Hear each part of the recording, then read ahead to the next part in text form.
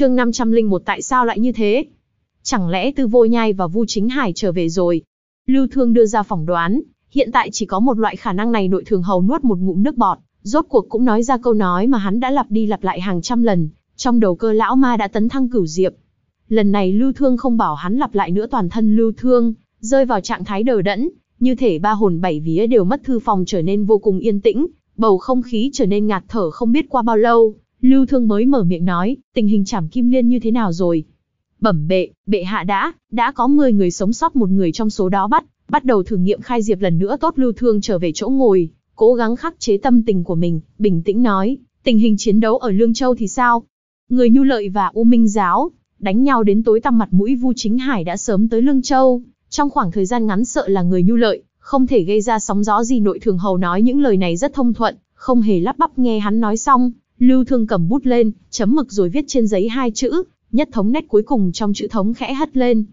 Vù, chữ thống tựa như có sinh mệnh, hóa thành một tự ấn được kim quang bao bọc đánh về phía tên nội thường hầu quỳ, ở cửa thư phòng trong chớp mắt đã đâm xuyên qua đầu hắn Lưu Thương, không nhìn nội thường hầu, tiếp tục viết xuống hai chữ vạn tộc viết xong bốn từ, hắn mới đặt bút xuống, lạnh nhạt nói, khiêng xuống đi tuân lệnh. Đầu nội thường hầu bị đánh nát, hai mắt trừng rất to, đến chết gã cũng không hiểu nổi tại sao Lưu Thương lại đột nhiên ra tay, với mình Vu Chính Hải của U Minh giáo khiến Cửu Châu đại loạn, cái gì gọi là trong thời gian ngắn không thể gây nên sóng gió.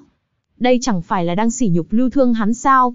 Thần đô là thành thị phồn hoa nhất của Đại Viêm, cũng là nơi tin tức linh thông nhất Lưu Thương, là người đầu tiên biết tin cũng không có gì lạ trên đời này, không có bức tường nào chắn được gió. Đại chiến ở Kim Đình Sơn càng không thể che giấu cả thiên hạ rất nhanh, tin tức các chủ ma thiên các đã tấn thăng lên cửu diệp lan truyền khắp thần đô, sau đó phát tán ra khắp cửu châu ma thiên các trong một đêm lại vang danh thiên hạ.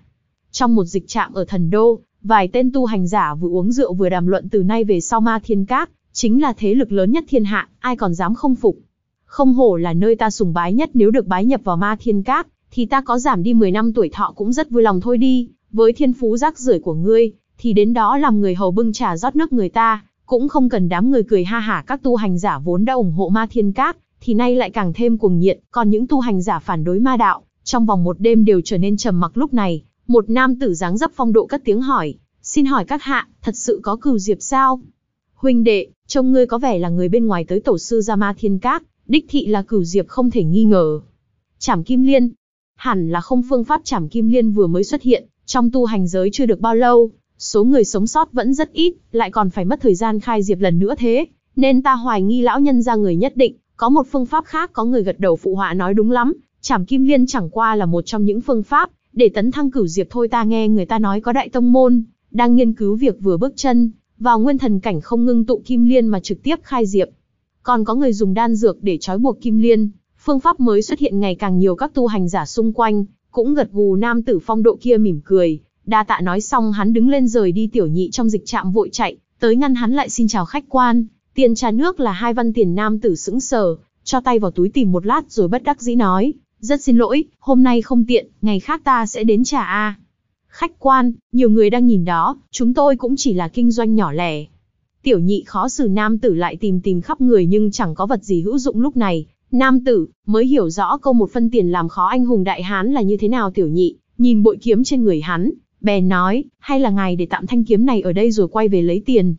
Nghe nhắc tới kiếm, đám tu hành giả xung quanh quay đầu nhìn, sang những người có chút ánh mắt đều nhận ra đây là một thanh kiếm bất phàm bọn hắn, cũng biết ý nghĩa của kiếm đối với kiếm khách một kiếm khách chân chính làm sao có thể rời xa kiếm của mình được.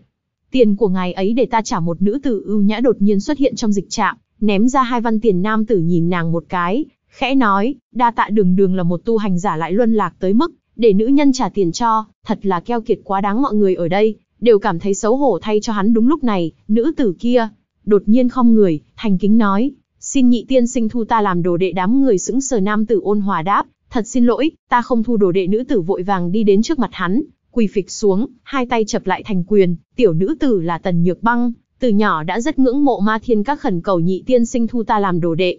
Đám người lấy làm kinh hãi ta nhớ ra rồi, nàng ta là nữ nhi của kỳ vương tần quân. Là nàng ta. Như vậy vị này là, Đúng vậy, hắn chính là nhị đệ tử Ma Thiên các ngu thượng nhung đang, trên đường bay về từ Vu Hàm Sơn trùng hợp đi ngang thần đô, nên dừng lại nghỉ ngơi một lát soạt. Toàn bộ tu hành giả xung quanh lập tức quỳ dạp xuống đất, Toàn thân run lẩy bẩy tên tiểu nhị dịch trạng càng hoảng loạn hắn cô động não, rồi lấy hết can đảm móc ra hai văn tiền vừa rồi, vừa kích động vừa sợ hãi đi đến trước mặt ngu thượng nhung, lắp ba lắp bắp, tiểu, tiểu nhân có, có mắt không thấy thái sơn. Xin xin.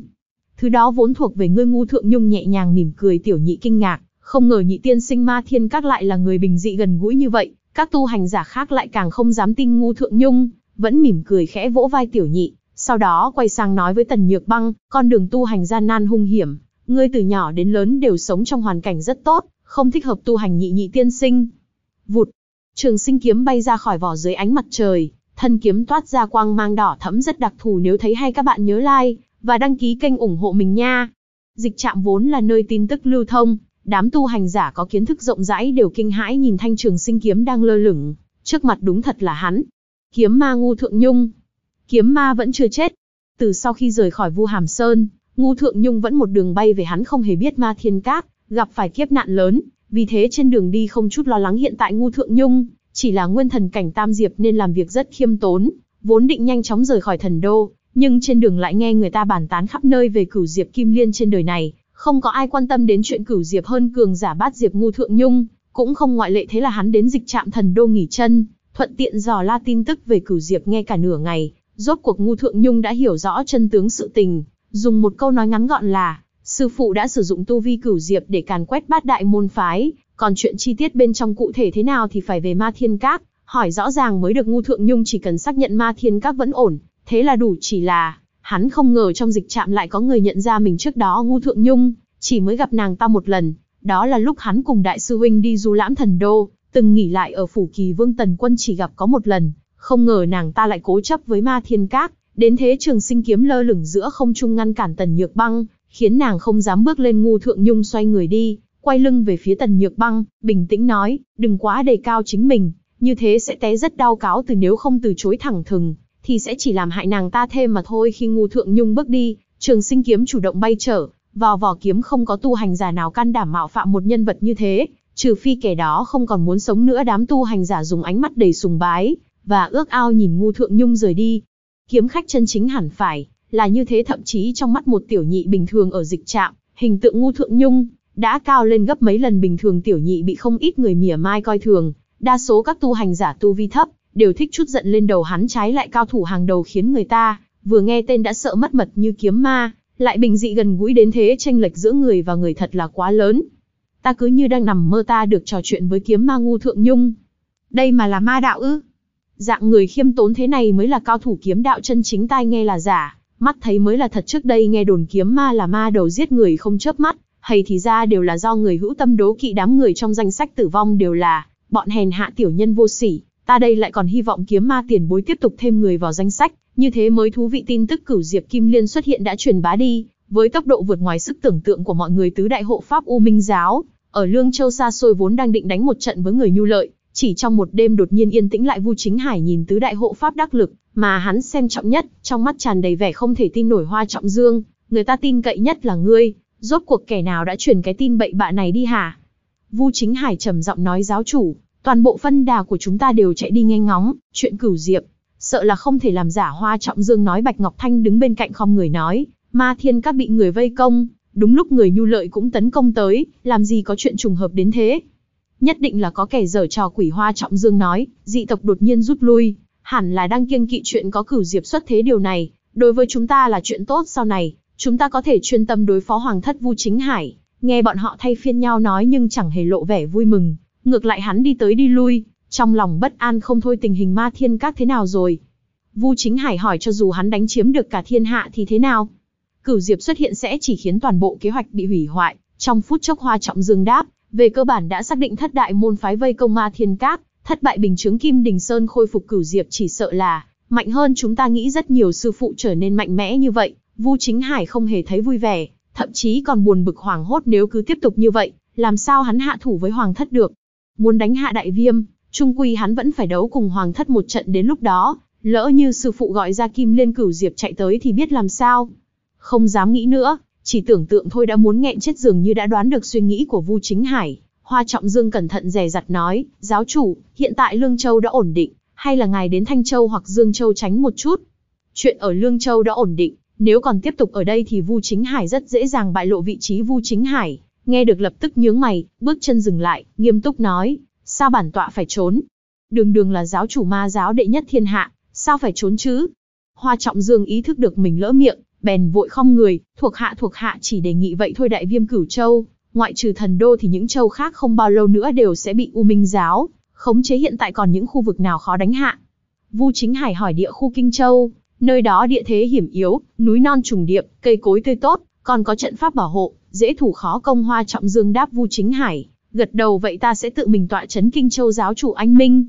Có giáo chủ tự mình tọa chấn, lo gì không đánh hạ được Kinh Châu sáng sớm mai thuộc hạ nguyện, cầm lái đưa tiễn giáo chủ một đoạn đường hoa trọng dương, nói trọng dương huynh đã mệt nhọc mấy ngày nay, chuyện này vẫn nên giao cho ta thì hơn. Bạch Ngọc Thanh nói ta cảm thấy hai vị huynh trưởng đều có vẻ mệt mỏi để ta đi, cho địch thanh cũng lên tiếng tranh giành Vu Chính Hải, liếc mắt nhìn bốn người rồi nói, Hoa Trọng Dương đi theo ta một chuyến, còn lại ba người các ngươi ở lại trấn giữ Lương Châu Mặc Thành, nếu còn gặp tên cao thủ nhu lợi quốc tạp la nhĩ kia thì cứ tiền trảm hậu tấu, mặc kệ bọn hắn có cầu hòa, hay nhận thua đi nữa thuộc hạ cần tuân dụ lệnh của giáo chủ Bạch Ngọc Thanh, Địch Thanh và Dương Viêm đồng thanh đáp Hoa Trọng Dương có vẻ vui mừng, không người nói, vậy thuộc hạ trở về chuẩn bị một chút. Không cần ý của giáo chủ là,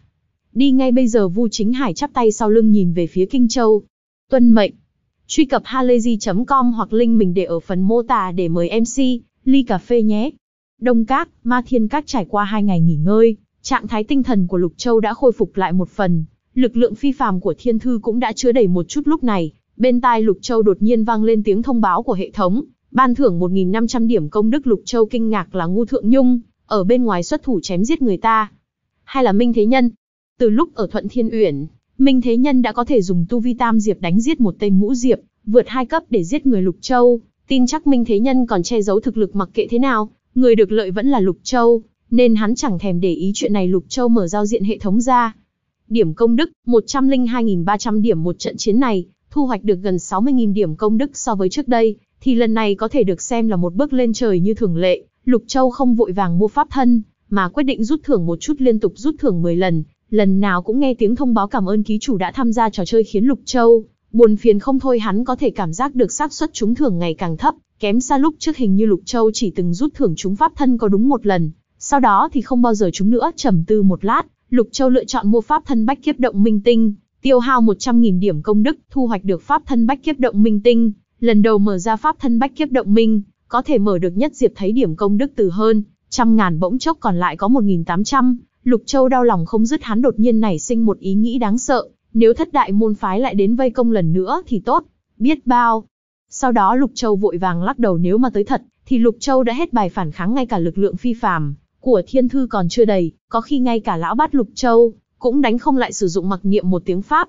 thân bách kiếp động minh hóa thành từng điểm tinh quang, rất nhanh dung nhập vào cơ thể Lục Châu đan. Điền khí hải vốn nhỏ bé này bỗng nhận được nguồn lực lượng dồi dào, như thủy triều xung quanh đồng cát, nguyên khí rung động tất cả mọi người trên ma thiên cát, đều cảm nhận được động tĩnh đặc thù này. Tại Nam các Phan Ly Thiên đang lười biếng nằm phơi nắng trên ghế vừa nghe lãnh la, nói khoác hắn khẽ lắc đầu nói, tuy lão hủ không được tận mắt nhìn thấy, nhưng vẫn nghe được rõ ràng âm thanh của cuộc chiến lão hủ tin người lãnh la, cười ha hả lão Phan, cái gì mà tin với không tin, đây chính là sự thật, ta không hề nói ngoa một chút nào lão già nhà ngươi có phải rất tiếc nuối, vì không được tận mắt nhìn thấy không? Nghe được lời này, Phan Ly Thiên rất ít khi im lặng không cãi lại trước khi lãnh la đến, Phan Trọng đã kể đi kể lại, cho hắn nghe về những chuyện động trời xảy ra tối đó cửu diệp, ai mà chả muốn được tận mắt nhìn. Chỉ tiếc hắn vẫn đang trong giai đoạn tịnh dưỡng, không thể nhìn thấy phong thái cửu diệp Phan Ly Thiên cũng không thể chạy đến Đông Cát, xin Lục Châu gọi pháp thân ra cho mình xem được lãnh la nói, bây giờ xem ra, chân lý đại nạn thọ mệnh đã bị phá.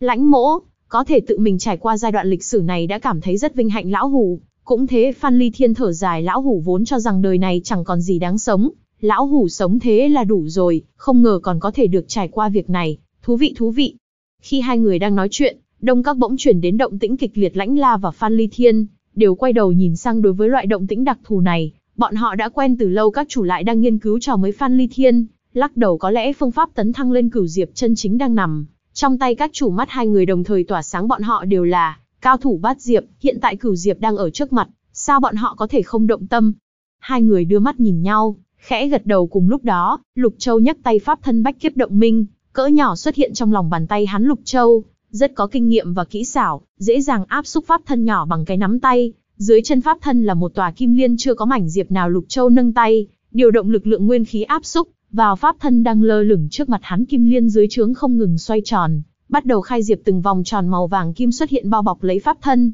rồi rơi xuống tòa kim liên năng lượng kim liên hấp thu, cũng càng ngày càng nhiều lúc này, Chư Hồng Cộng và Chiêu Nguyệt đi vào Đông Các có nguyên thần, cảnh đang khai diệp không phải chứ? Sư phụ lên thập diệp luôn rồi. Chư Hồng Cộng giật nảy mình, không phải là mức ba động khi khai nhất diệp khoảng thời gian này Chiêu Nguyệt cũng đang thử khai diệp nên đối với độ ba động này nàng hiểu rất rõ ha ha, ta sẽ không bị sư phụ đánh lừa đâu, chúng ta đi thôi. Chư Hồng Cộng lôi kéo Chiêu Nguyệt nhanh chóng rời khỏi Đông Các đùa à. Sư phụ đã quen một mình tu luyện, lúc này mà đến quấy giày là đang tìm chết. Còn cái gì mà nhất diệp, cái gì, mà ngưng tụ pháp thân đều là hiện tượng giả cả ngàn vạn lần đừng để mắc lừa. Đây không chỉ là suy nghĩ của chư hồng cộng mà còn là suy nghĩ của tất cả mọi người trong ma thiên các dù sao bọn họ, cũng đã quen với việc này rồi cho dù bây giờ Lục Châu đứng trước mặt bọn họ, gọi ra pháp thân thật sự chỉ mới nguyên thần cảnh nhất diệp, thì cũng chẳng có ai tin khoảng nửa canh giờ sau vòng ánh sáng cuối cùng biến mất, Lục Châu nhìn thấy một phiến lá sung mãn sáng rực xuất hiện trên tòa kim liên xong rồi, dù chỉ mới khai nhất diệp, nhưng Lục Châu đã cảm thấy cực kỳ dễ chịu và thỏa mãn từ giờ trở đi, hắn thật sự đã là tu hành giả nguyên thần cảnh nhất diệp khai diệp xong, Lục Châu lần nữa tiến vào trạng thái lĩnh hội thiên thư sáng hôm sau, vừa mở mắt Lục Châu đã nghe tiếng tiểu Diên Nhi truyền tới. Sư phụ, tứ sư huynh trở về rồi. Bảo hắn vào vâng Lục Châu chắp tay bước ra khỏi đông cát, ngẩng đầu nhìn bình chứng kim đình sơn mọi thứ đâu đã vào đấy, thậm chí còn cường đại và huy hoàng hơn lúc trước lực lượng của thẻ trạng thái đỉnh phong, thật khiến người ta mê muội phải chi có thêm tấm nữa, thì tốt biết bao đổi nhi bái kiến sư phụ. Minh Thế Nhân vừa vào đông các đã quỳ xuống bái lạy, chán chạm mặt đất hắn vừa định học chư hồng cộng thì Lục Châu đã nhíu mày xua tay, thôi đi đồ nhi thật lòng bái phục sư phụ, kềm lòng không được. Sư phụ chính là đệ nhất cửu diệp, không ai không phục Minh Thế Nhân nói nói xong chưa? Lục Châu lừ mắt nhìn Minh Thế Nhân chẳng biết trong đầu con hàng này nghĩ cái gì, có thời gian nghĩ cách vỗ mông ngựa, chẳng bằng lo tu luyện để tịnh tiến tu vi Minh Thế Nhân lắc đầu, không dám tiếp tục nịnh hót nữa. Trong lòng âm thầm nghĩ, loại vỗ mông ngựa cấp thấp này đúng là không thể bắt trước lung tung, được tại sao lão bát làm vậy lại không bị sư phụ ghét bỏ nhỉ? Hai ngày nay ngươi đi đâu? Lục Châu hỏi Minh Thế Nhân, liền vội vàng kể lại một năm một mười việc hắn trà trộn vào thất đại môn phái, theo dõi Phong Thanh Hà rồi đánh giết hắn như thế nào Lục Châu nghe vậy, nghi hoặc hỏi, ngươi giết Phong Thanh Hà? Nhờ may mắn, may mắn thôi ạ. Phong Thanh Hà thiêu đốt khí hải giả làm xác chết, sau khi bỏ trốn thì Phong bế khí hải, chạy thẳng vào rừng cây, cũng may hắn đã bị sư phụ đánh trọng thương nên Đồ Nhi mới có thể đắc thủ. Ngày đó tình hình chiến đấu quá mức hỗn loạn, có cá lọt lưới cũng không kỳ quái chỉ là Lục Châu không ngờ Phong Thanh Hà lại có thể chạy thoát pháp thân cửu diệp, có thể khóa chặt những nơi có nguyên khí ba động cường đại tính ra tên Phong Thanh Hà, này cũng rất giảo hoạt tiểu Diên Nhi đột nhiên nói xen vào, tứ sư huynh, huynh làm sao theo dõi được hắn? Cũng giả chết như hắn sao? Minh Thế Nhân, hắn hắng giọng một cái, mặt không đổi sắc, không cần câu nệ mấy tiểu tiết đó không cần biết Minh Thế Nhân theo dõi như thế nào, có thể đánh giết được Phong Thanh Hà đã là, lập công Lục Châu sao có thể trách tội hắn làm tốt lắm Lục Châu, khích lệ đa tạ sư phụ. Đồ Nhi còn có một chuyện muốn bẩm báo Minh Thế Nhân, nói nói đi sau khi Đồ Nhi giết Phong Thanh Hà thì gặp được một bà lão. Minh Thế Nhân bắt đầu kể lại chuyện gặp bà lão ở hẻm núi, bao gồm cả tướng mạo bà ta thế nào đều kể hết ra nói xong, hắn lại bổ sung, bà lão kia định giúp Phong Thanh Hà đánh giết Đồ Nhi, cũng may Đồ Nhi cơ trí nhắc đến danh hào của sư phụ, bà ta bị dọa không dám động thủ nữa Lục Châu lạnh nhạt nói ra ba chữ, Tả Ngọc Thư Tả Ngọc Thư là ai ạ? Minh Thế Nhân gãi đầu hỏi đúng lúc này, giọng lãnh la từ phía sau truyền tới. Ngươi không biết bà ta cũng là bình thường Tả Ngọc Thư là, thiên tài tu hành danh chấn một thời của nho môn 500 năm trước, cũng là người có khả năng trở thành vị nữ thánh nhân đầu tiên của đại viêm chỉ là. Hạo nhiên thiên cương của nho môn chỉ truyền nam, không truyền nữ tính tình Tả Ngọc Thư cương liệt, từ đó về sau đoạn tuyệt với nho môn Minh Thế Nhân gãi đầu, nhớ lại bộ dạng nghiêm túc của bà lão kia dạng người nói đoạn tuyệt là, đoạn tuyệt như vậy, xem ra tính khí không hề hiền lành sự tình e là không đơn giản như lời lãnh la, nói chỉ truyền nam không truyền nữ. Minh Thế Nhân nghi hoặc nói lãnh la đi đến trước mặt Lục Châu, chắp tay hành lễ Lục Châu gật đầu với hắn xem như đáp lời lãnh la, quay đầu giải thích với Minh Thế Nhân, từ xưa đến nay trong các đời vương triều đều dùng văn võ trị quốc, bá tánh bình dân giỏi lắm cũng chỉ luyện được đến thối thể cảnh, nếu may mắn thì vào được thông huyền, cảnh hoặc ngưng thức cảnh nếu muốn tiếp tục tu hành chỉ có cách bái nhập tông môn, dựa vào thiên phú và nỗ lực của bản thân để trèo lên cao quốc gia muốn hưng thịnh đâu chỉ dựa vào vũ lực, thế nên văn mới có đất dùng chỉ là, phe phái này từ trước đến nay chỉ nhận đệ tử nam, một số thiên kim tiểu thư muốn cầu học, cũng chỉ có thể thuê lão sư tư thục về dạy vì thế hiện nay trong triều, Dương Thịnh âm suy cho đến ngày nay nho môn hưng thịnh vẫn là nhờ vào hai phe văn và võ những điều này, giống với ký ức trong não Hải Lục Châu hắn, chỉ không ngờ thế giới này lại tương tự như trái đất thời cổ đại, chỉ khác ở chỗ tại Đại Viêm không có cảnh nam tôn nữ ti trong việc tu hành, rất nhiều tông môn cũng tôn sùng nữ đệ tử mạnh mẽ thật đáng chê cười Minh Thế Nhân, nói 500 năm trước, Tả Ngọc Thư phong hoa tuyệt đại sau khi đoạn tuyệt với nho môn, thì sống ẩn giật không ra mặt nữa, chẳng ai biết bà ta đã đi đâu giọng điệu của lãnh la, có vẻ rất thưởng thức dạng cường giả này, đợi bà ta đến đây rồi hỏi là được chứ gì Minh Thế Nhân, nói lãnh la kinh ngạc bà ta muốn tới ma thiên các. Đúng vậy, bà ta muốn ra mặt cho trưởng môn phong Thanh Hà, của chấn thương học phái nếu là trước kia, tả Ngọc Thư muốn ra mặt cho phong Thanh Hà, thì có lẽ lãnh la sẽ thấy lo lắng thay cho các chủ nhưng bây giờ. Các chủ đã là cao thủ cửu diệp, bà ta còn ra mặt cái nỗi gì? Không biết tự lượng sức mình lãnh la nói lục châu khẽ vuốt dâu chuyện này, cứ gác lại đã lãnh trưởng lão có chuyện gì. Lãnh la khom người nói, lãnh mỗ muốn thỉnh giáo phương pháp tấn thăng cửu diệp của các chủ rốt cuộc, cũng đến vấn đề này lục châu, cũng đã ngờ tới, bèn hỏi, người muốn xung kích lên cửu diệp. Lãnh la đáp, cửa đã ở trước mắt, nếu không đẩy ra xem thử một lần thì cuộc đời này, sẽ mãi mãi hối tiếc tu hành giả bát diệp làm gì có người nào, không muốn tấn thăng cửu diệp. Lục Châu vuốt râu, gật đầu nói, cho đến hiện tại, trong tu hành giới đang lưu truyền hai phương pháp tu hành một là chảm kim liên rồi khai diệp lại lần nữa phương pháp này có thể thực hiện lãnh la, ngẩng đầu nhìn Lục Châu ngay cả Minh Thế Nhân, cũng cảm thấy kinh ngạc khoảng thời gian này hắn ở bên ngoài nghe ngóng tin tức, biết được có không ít tu hành giả sau khi chảm kim liên vẫn còn sống sót, nhưng lại chưa nghe nói có người nào thành công khai diệp một khi khai diệp thành công, thì phương pháp tu hành sau này của toàn tu hành giới sẽ triệt để thay đổi, vì sao sư phụ lại khẳng định phương pháp này khả thi? Hai là, khi vừa bước chân vào tu vi nguyên thần cảnh, không ngưng tụ kim liên hai loại phương pháp đều có thể tấn thăng lên cửu diệp người, chưa vào nguyên thần cảnh có thể chọn phương pháp thứ hai người đã là nguyên thần, cảnh chỉ có thể chọn phương pháp thứ nhất nghe đến đây, lãnh la nghi hoặc hỏi lại, các chủ đã lựa chọn phương pháp thứ nhất. Đồng thời trong lòng lãnh la cũng đang kinh ngạc các chủ trảm kim liên từ bao giờ. Tốc độ khai diệp lần sau lại nhanh như vậy. Đều không phải lục châu đáp các vị đã có kim liên, chỉ có thể dùng phương pháp thứ nhất lãnh la cả kinh vấn đề là, làm sao có thể chắc chắn mình sống sót sau khi trảm kim liên.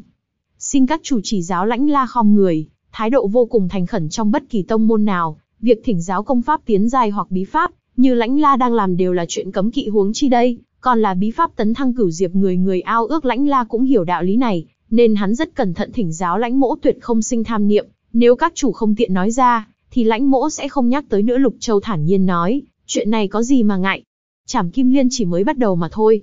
Tin rằng không bao lâu sau tu hành giới sẽ đưa ra phương pháp hoàn thiện hơn, hai người nghe vậy đều cảm thấy yên tâm hơn Minh Thế Nhân nói, vậy đồ nhi chảm Kim Liên luôn từ bây giờ, kẻo đợi tới bát diệp mới chảm, thì lại thiệt thòi lớn bát diệp chảm Kim Liên xong lại phải khai diệp từ đầu, vậy hắn tứ diệp chảm Kim Liên rồi khai diệp, cũng chẳng khác gì tội gì phải tu hành lên trên làm chi.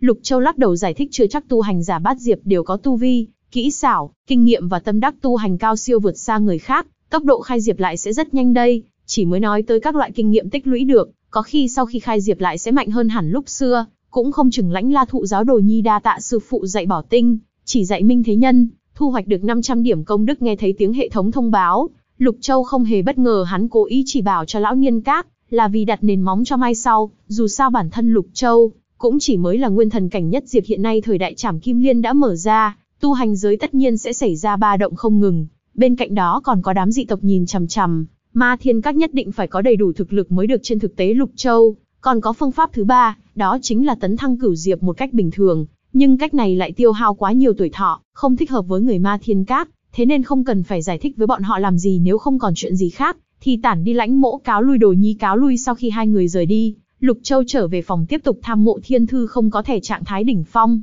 hắn chỉ có thể dựa dẫm vào thiên thư mà thôi trước khi lĩnh hội, Lục Châu nhìn lại điểm công đức còn thừa, 2.300 điểm để lại làm cái gì? Chỉ tổ ngứa mắt, rút thưởng tinh, tiêu hao 50 điểm công đức, tiêu hao 20 điểm may mắn, thu hoạch được thẻ ngụy trang x5 thẻ ngụy trang, khi sử dụng thẻ này có thể ngụy trang pháp thân hiện tại thành cửu diệp, duy trì liên tục trong 10 giây một loại thẻ mới xuất hiện khiến Lục Châu khá bất ngờ có điều thẻ ngụy trang này, chẳng có ý nghĩa thực tế gì cả, đây là bảo lão phu đi trang bức sao.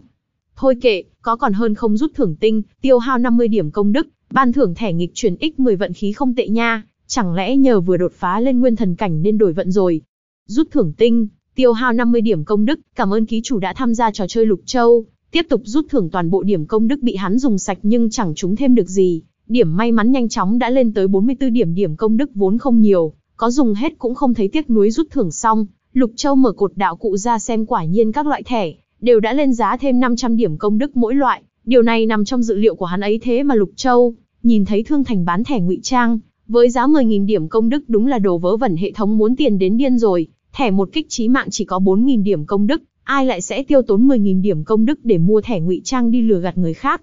Trừ phi đầu óc bị úng nước. Lục Châu lại nhìn về phía cột pháp thân thiên giới bà Sa, 500.000 điểm công đức, pháp thân này cũng có thể đạt được thông qua việc tu hành. Kim Liên khai diệp, 50.000 điểm công đức, hạn từ cảnh giới bát diệp trở xuống có thể thông qua việc tu hành để khai diệp. Ta nhịn không thể nổi giận Lục Châu hít sâu một hơi, trong lòng cảm thấy bình tĩnh hơn rất nhiều làm cơ thiên đạo đã lâu, theo thời. Gian trôi đi, Lục Châu càng ngày càng cảm thấy mình bị ký ức của cơ thiên đạo ảnh hưởng, ngày càng dung nhập vào thân phận này giá tiền này, thì không mua nổi rồi chỉ còn cách tiếp tục lĩnh hội thiên thư sáng hôm sau Lục Châu, như thường lệ ra khỏi phòng tập thể dục sư phụ, sư phụ, sư phụ. Tiểu Diên Nhi vừa chạy tới vừa gọi Lục Châu nhíu mày nói, ngươi cho rằng vi sư bị điếc hay sao? Ách đồ nhí không dám Tiểu Diên Nhi cúi thấp đầu, có vẻ trở nên ngoan ngoãn hơn nhiều chuyện gì. Lục Châu thản nhiên hỏi thất sư huynh cầu kiến. Huynh ấy nói có rất nhiều lời muốn nói với sư phụ Tiểu Diên Nhi, vội đáp nghiệt đồ đúng là nghiệt đồ ăn nhiều cực khổ như vậy, mới chịu kể ra hết sự tình người càng thông minh, thì càng tự phụ muốn người thông minh tin phục mình, thì phải hung hăng đánh bại hắn ở lĩnh vực, mà hắn am hiểu nhất Lục Châu rõ ràng đã làm được điều này, lão phu thật muốn xem xem hắn có thể nói được chuyện gì mang nó tới đây. Đồ Nhi tuân mệnh Tiểu Diên Nhi xoay người đi tới động diện bích không bao lâu sau, Tiểu Diên Nhi đã đưa Từ Vô Nhai tới Đông Các thấy, sư phụ đứng trên bậc thềm trước cửa phòng nhìn mình bằng vẻ mặt ung dung, Tư Vô Nhai lập tức không người quỳ xuống nói, nghiệt đồ bất hiếu Tư Vô Nhai, bái kiến sư phụ đứng lên rồi nói đa tạ sư phụ Tư Vô Nhai đứng lên, lúc này Lục Châu mới phát hiện sắc mặt hắn không quá dễ coi, gương mặt trắng bệch, mái tóc rối bời, vành mắt đen thâm xì nghiệt đồ này thật sự nghiên cứu toán học tới phát điên rồi à? Lục Châu bèn lên tiếng, những đề mục kia ngươi không có khả năng giải được đồ nhi hổ thẹn, không ngờ những đề mục đó lại thâm ảo như vậy tư vô nhai, xấu hổ nói ngươi giải được mới là lạ đó, ngươi tìm lão phu có chuyện gì? Đã nghĩ rõ ràng chưa? Tư vô nhai trịnh trọng vung vạt áo bào phía trước rồi thành kính quỳ xuống, không nói gì, chỉ chuyên chú dập đầu ba cái với Lục Châu sau đó hắn mới lên tiếng, Đồ Nhi đã nghĩ kỹ Lục Châu liếc mắt nhìn ra ngoài cửa viện rồi nói, vào đây có nhiều chuyện không nên để ngoại nhân biết, thì tốt hơn Lục Châu xoay người đi vào phòng, Tư Vô Nhai cũng đứng lên theo sau Tiểu Diên Nhi khom người cười hì hì. Sư phụ, Đồ Nhi sẽ thủ hộ ngoài này, không cho phép ai tới quấy rầy sư phụ chuyện được đọc bởi kênh Halazy Audio. Trong phòng, mọi thứ vẫn như cũ Tư Vô Nhai lại lần nữa nhìn thấy bức tranh chữ trên tường kia, Hải thượng sinh minh nguyện, thiên nhai cộng thử thì hắn khẽ nhíu mày mười chữ này, luôn khiến cõi lòng hắn không yên ổn nét chữ cứng cáp ăn sâu vào mặt gỗ, không mất 8 đến 10 năm rèn luyện, thì không thể nào có công lực thư pháp bậc này Lục Châu đi vào chính sảnh, thản nhiên ngồi xuống chờ Tư Vô Nhai chủ động nói chuyện là ngươi đến tìm lão phu, lão phu không có gì để nói Tư Vô Nhai lại quỳ xuống nói, Đồ Nhi chúc mừng sư phụ tấn thăng cửu diệp Lục Châu nhíu mày nhìn hắn chỉ có thế. Ý nói, ngươi còn rất nhiều chuyện chưa nói ra đâu giọng Tư Vô Nhai trở nên run rẩy, Đồ Nhi có nỗi khổ tâm. Ngươi có nỗi khổ tâm cái dám ấy, Lục Châu muốn phát tác nhưng vì muốn giữ gìn hình tượng sư trưởng, nên đành ngồi yên bất động nói đi người có còn nhớ, vì sao nhị sư huynh rời đi không? Lão Phu muốn giết hắn. Lục Châu đương nhiên còn nhớ lời ngu thượng nhung từng nói chẳng lẽ Lão Phu cũng muốn giết ngươi. Tư vô nhai đáp, người không muốn giết đồ như vậy ngươi còn khổ tâm cái rắm gì? Tư vô nhai run rẩy nói, người sư phụ muốn giết là nhị sư huynh và đại sư huynh. Lục Châu nhíu mày, trong lòng khẽ động tại sao lão phu lại muốn giết bọn hắn,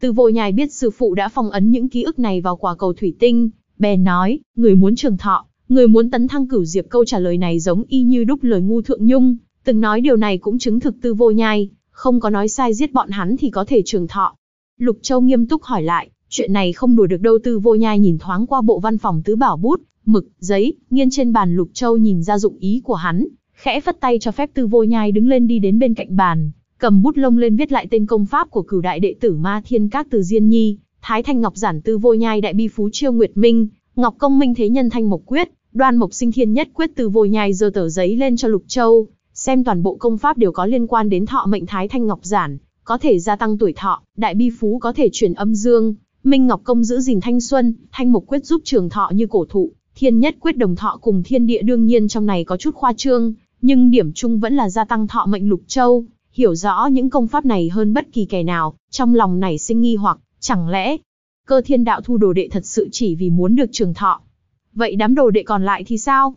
Từ vô nhai tiếp tục nói, lục sư tỷ Diệp Thiên Tâm là bạch dân, trong điển tịch có ghi chép lại bạch dân có thừa hoàng, cưỡi trên lưng nó tăng thọ hai. Ngàn tuổi nhị sư huynh ngu thượng nhung là người quân tử quốc, thọ mệnh rất ngắn nói tới đây, hắn đặt lại tờ giấy xuống mặt bàn lão bát tu luyện cửu kiếp lôi cương, mỗi khi đề thăng một bậc át gặp một kiếp, lục phủ ngũ tạng bị ảnh hưởng, giảm đi 50 năm tuổi thọ nói tới đây, giọng tư vô nhai trở nên rất thấp hắn lại lần nữa quỳ xuống đất, chắp tay ôm quyền với Lục Châu, không nói thêm gì nữa Lục Châu đã hiểu nói đến vậy mà còn nghe không hiểu, thì hắn sống trên đời thật uổng phí Lục Châu, cười ha hả nhìn về phía tư vô nhai ý ngươi là, lão phu bắt các ngươi làm vật thí nghiệm, mưu đồ gia tăng tuổi thọ để bước vào cửu diệp.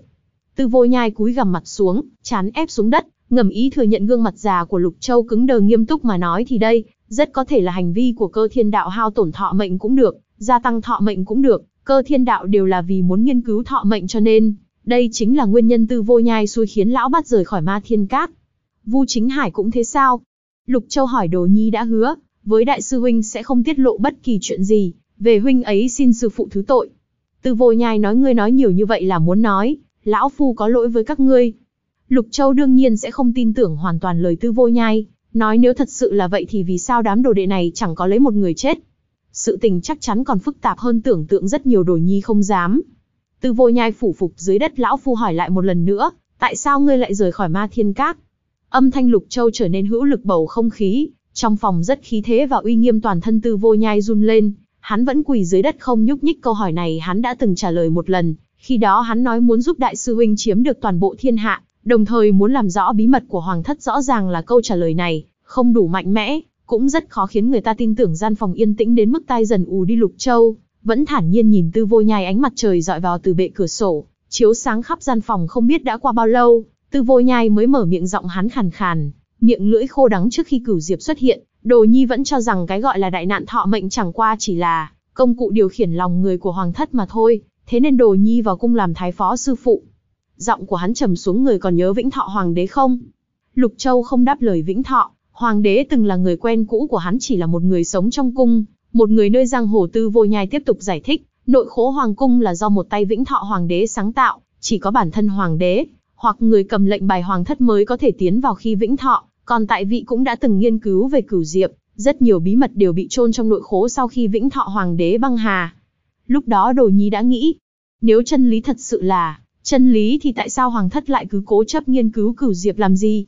Chẳng lẽ muốn lật đổ chân lý? Cửu diệp rõ ràng là không tồn tại, Tại sao lại xuất hiện trong sử sách? Người thắng viết nên lịch sử, rốt cuộc hoàng thất đã ẩn giấu chuyện gì? Nghe từ vô nhai không ngừng trình bày, Lục Châu nhíu chặt mày nghiệt đồ đúng thật muốn nghiên cứu chuyện này, thế nhưng hắn nói thật nhiều, lại vẫn như cũ không nói thẳng vào trọng điểm nói tới đây. Từ vô nhai dập đầu với Lục Châu suốt mấy năm qua đồ nhi khổ tâm thành lập ám võng, trải rộng khắp thiên hạ đại viêm, không ngừng điều tra trong bóng tối. Về sau đồ nhi mới biết, khắp thiên hạ này đâu chỉ có một mình sư phụ theo đuổi cửu diệp, Vân Thiên La, cung Nguyên Đô, vua của Mạc Bắc, quốc chủ dị tộc Lâu Lan, lão tổ các đại tông môn đều đang nghiên cứu mà điều buồn cười là, có lẽ do thói quen, hắn nói ra hai chữ buồn cười, lời đã ra khỏi mồm không thể nuốt lại, tư vô nhai dừng một chút rồi nói tiếp, đều kết thúc trong thất bại lục châu sắc mặt như thường, thản nhiên nhìn tư vô nhai sau đó thì sao? Biểu lộ của tư vô nhai, trở nên nghiêm túc đồ nhi vẫn luôn tự hỏi một vấn đề kim liên hấp thu năng lượng, nguyên khí hay thọ mệnh đều được, nhưng là, những năng lượng đó đều biến đi đâu rồi?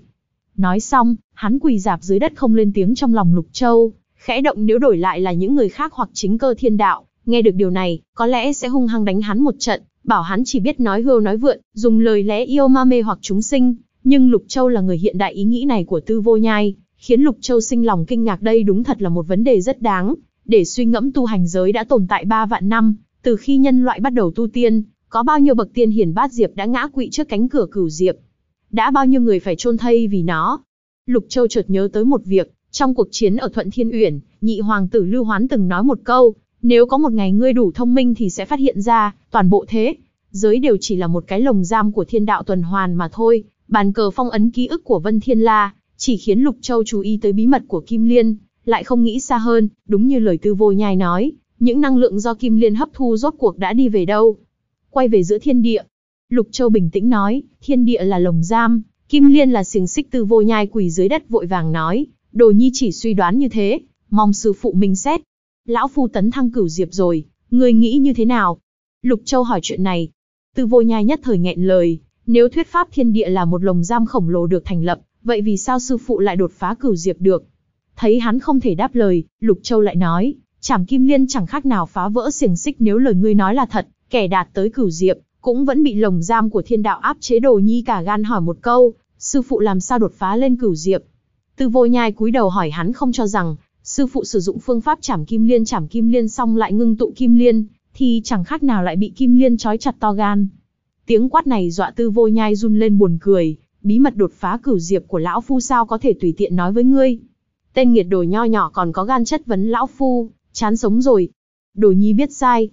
Tư vô nhai vội vàng nói Lục Châu liếc mắt nhìn tư vô nhai tuy, biểu hiện hôm nay của hắn cũng tạm được, nhưng độ trung thành lại tăng lên rất ít im lặng một lát, Lục Châu nói, chỉ dựa vào những chuyện này đã suy đoán thiên địa là lồng giam thì còn, chưa đủ đồ nhi mượn bút mực dùng một lát tư vô nhai lại đến bên bàn đọc sách, cầm bút vẽ soàn soạt lên giấy một lát sau, tư vô nhai giơ lên một tấm địa đồ bức địa đồ do tư vô nhai, vẽ không giống với bản đồ da dê cổ đặt trên bàn trà sau tấm bình phong tư vô nhai, vẽ rất đơn sơ giản lược, hầu như chỉ có mỗi đại viêm nơi này là đại viêm, phía đông là vùng biển vô tận, phía tây là nhung tây, phía bắc là nhung bắc. Nơi này là hắc mộc xâm lâm, nơi này là mê vụ xâm lâm, nơi này là thiên tiệm xâm lâm, lại thêm mấy khe núi. Kỹ năng vẽ của tư vô nhai rất tệ, nhưng suy nghĩ của hắn lại rất kinh người Lục Châu nhìn xong cũng nhướng mày trận pháp.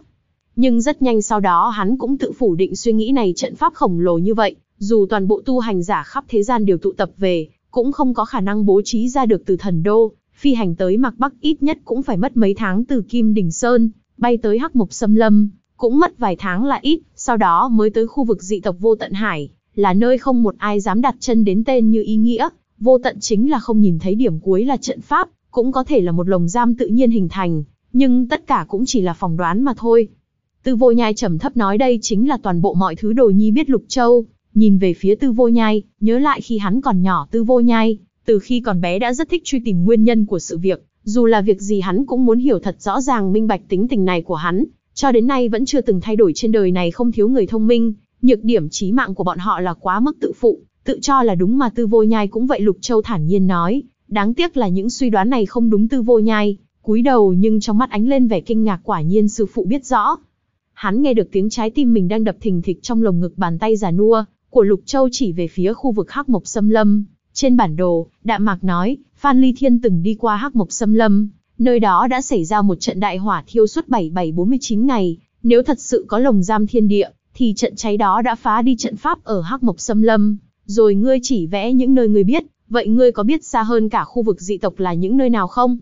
Lục Châu hỏi ngược lại Tư Vô Nhai, á khẩu không thể đáp lời sở dĩ con người thường đưa ra phán đoán sai lầm là, vì con người chỉ căn cứ vào những tin tức không hoàn chỉnh, mà mình biết được căn phòng lại rơi vào tĩnh lặng kỳ thực Lục Châu không cần hỏi, bản thân Tư Vô Nhai cũng dần nhận ra được sai lầm của mình. Tư Vô Nhai Lục Châu, đột nhiên gọi tên hắn tim Tư Vô Nhai, thoát lại ngươi muốn thăm dò thế giới huyền bí này, lão phu không quan tâm những lời ngươi nói, chờ khi nào lão phu tìm lại được thủy tinh cầu ký ức, sẽ cho ra kết luận lời này có hàm ý là, cho dù Tư Vô Nhai ngươi có nói bao nhiêu đi nữa thì sư phụ cũng không thể dễ dàng tin tưởng lời ngươi được Lục Châu. Nhất định phải tìm lại được thủy tinh cầu ký ức chỉ là, diện tích lãnh thổ Nhung Tây Nhung Bắc quá rộng lớn, biết đi đâu mà tìm.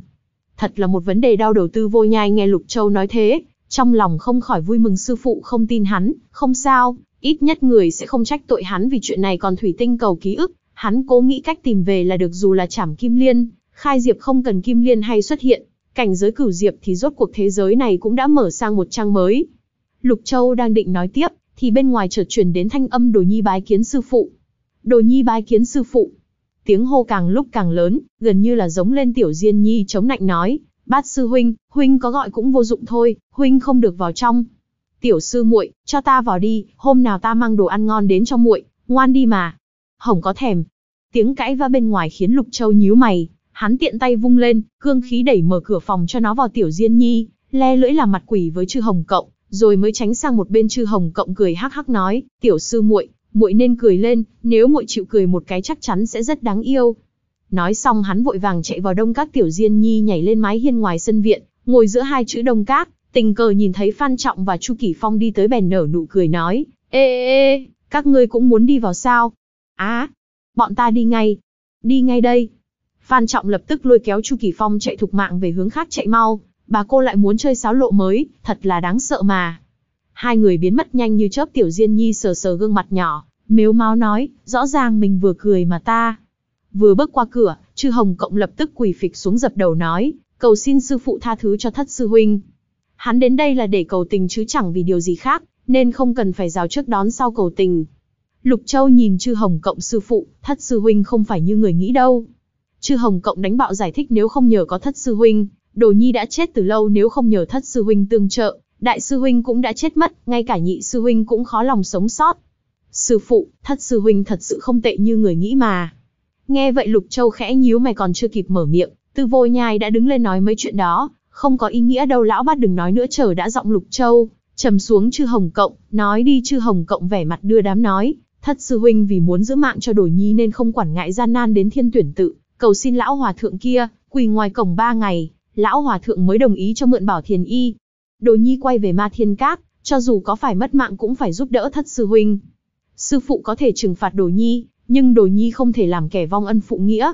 Nhị sư huynh vốn là người đoàn mệnh, cũng nhờ thất sư huynh lật tung cả đại viêm, mới có thể tập hợp đầy đủ phù văn khắc vào trường sinh kiếm còn có đại sư huynh.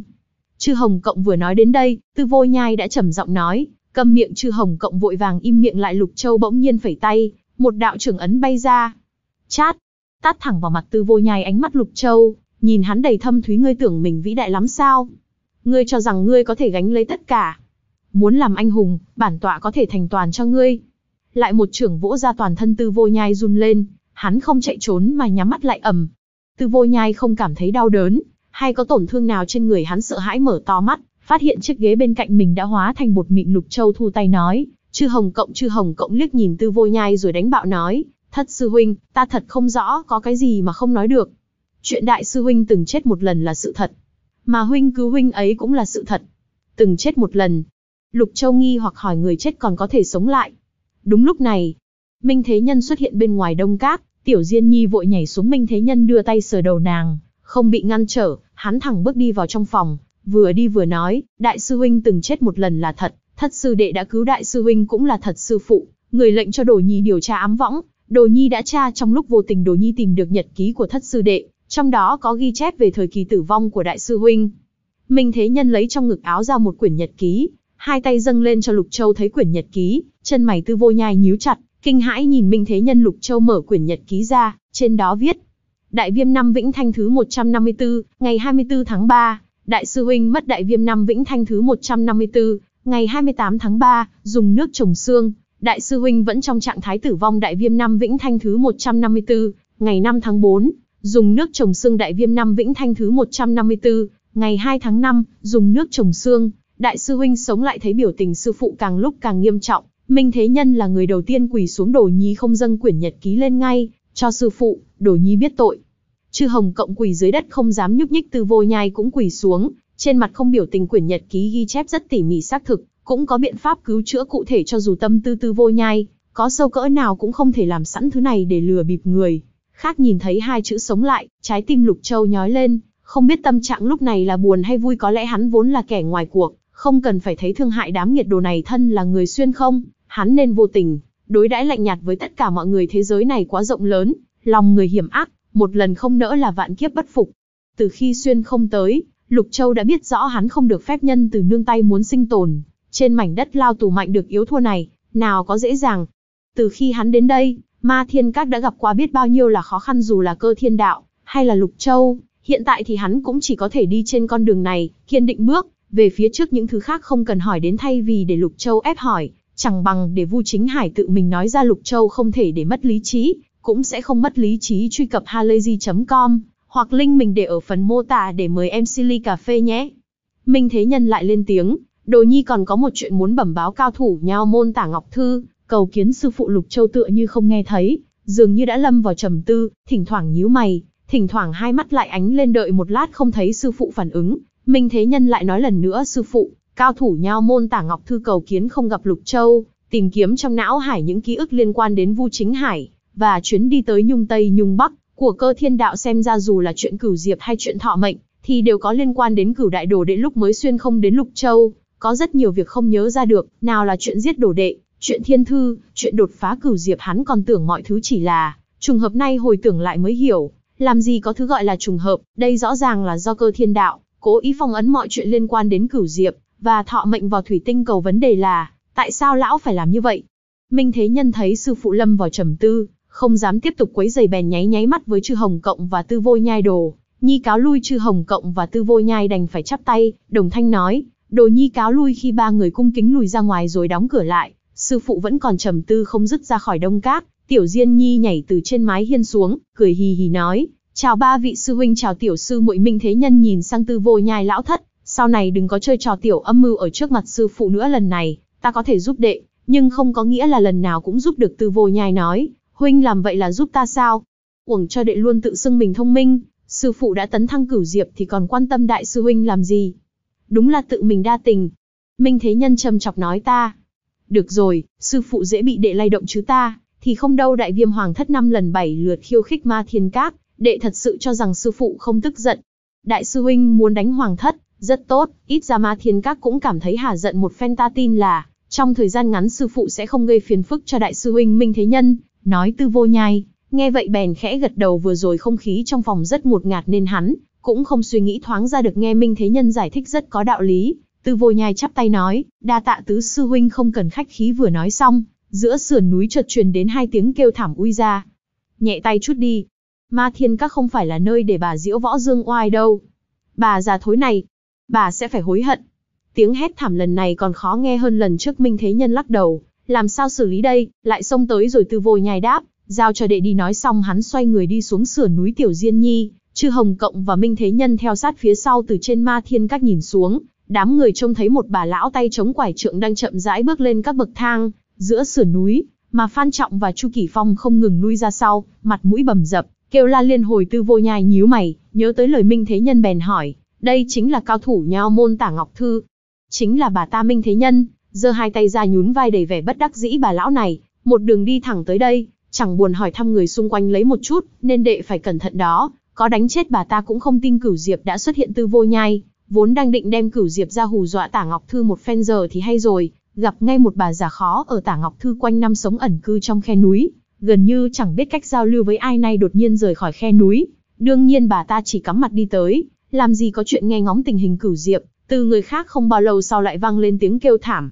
Phan Trọng và Chu Kỳ Phong chạy đến trước mặt Tư Vô Nhai thất, thất tiên sinh. Mau, mau ngăn bà ta lại. Tuy hiện tại trông Tư Vô Nhai có vẻ rất chật vật, quầng mắt đen xì, bộ dạng ốm yếu như người không được nghỉ ngơi tốt, nhưng khi đứng thẳng người lên, quanh thân Tư Vô Nhai lại toát ra thần thái, và khí thế vốn có cộp cộp bà lão Tả Ngọc Thư, tấm lưng còng xuống, rốt cuộc cũng đi, tới quảng trường đá xanh bà ta ngẩng đầu đảo mắt nhìn đám người một lượt, sau đó quay sang nói với Minh Thế Nhân, người thanh niên, lại gặp mặt ách, Xin chào lão tiền bối minh thế nhân, có hơi xấu hổ không phải người lớn tuổi thì nhãn lực và trí nhớ đều kém đi sao?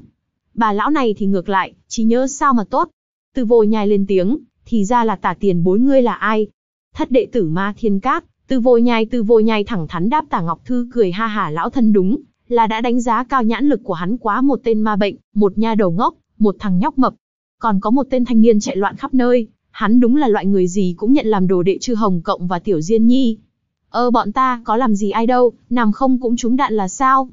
từ vô nhai không thèm để ý tả tiền bối muốn gặp gia sư. Chẳng lẽ tên này chưa hề nói cho các ngươi biết mục đích lão thân đến đây?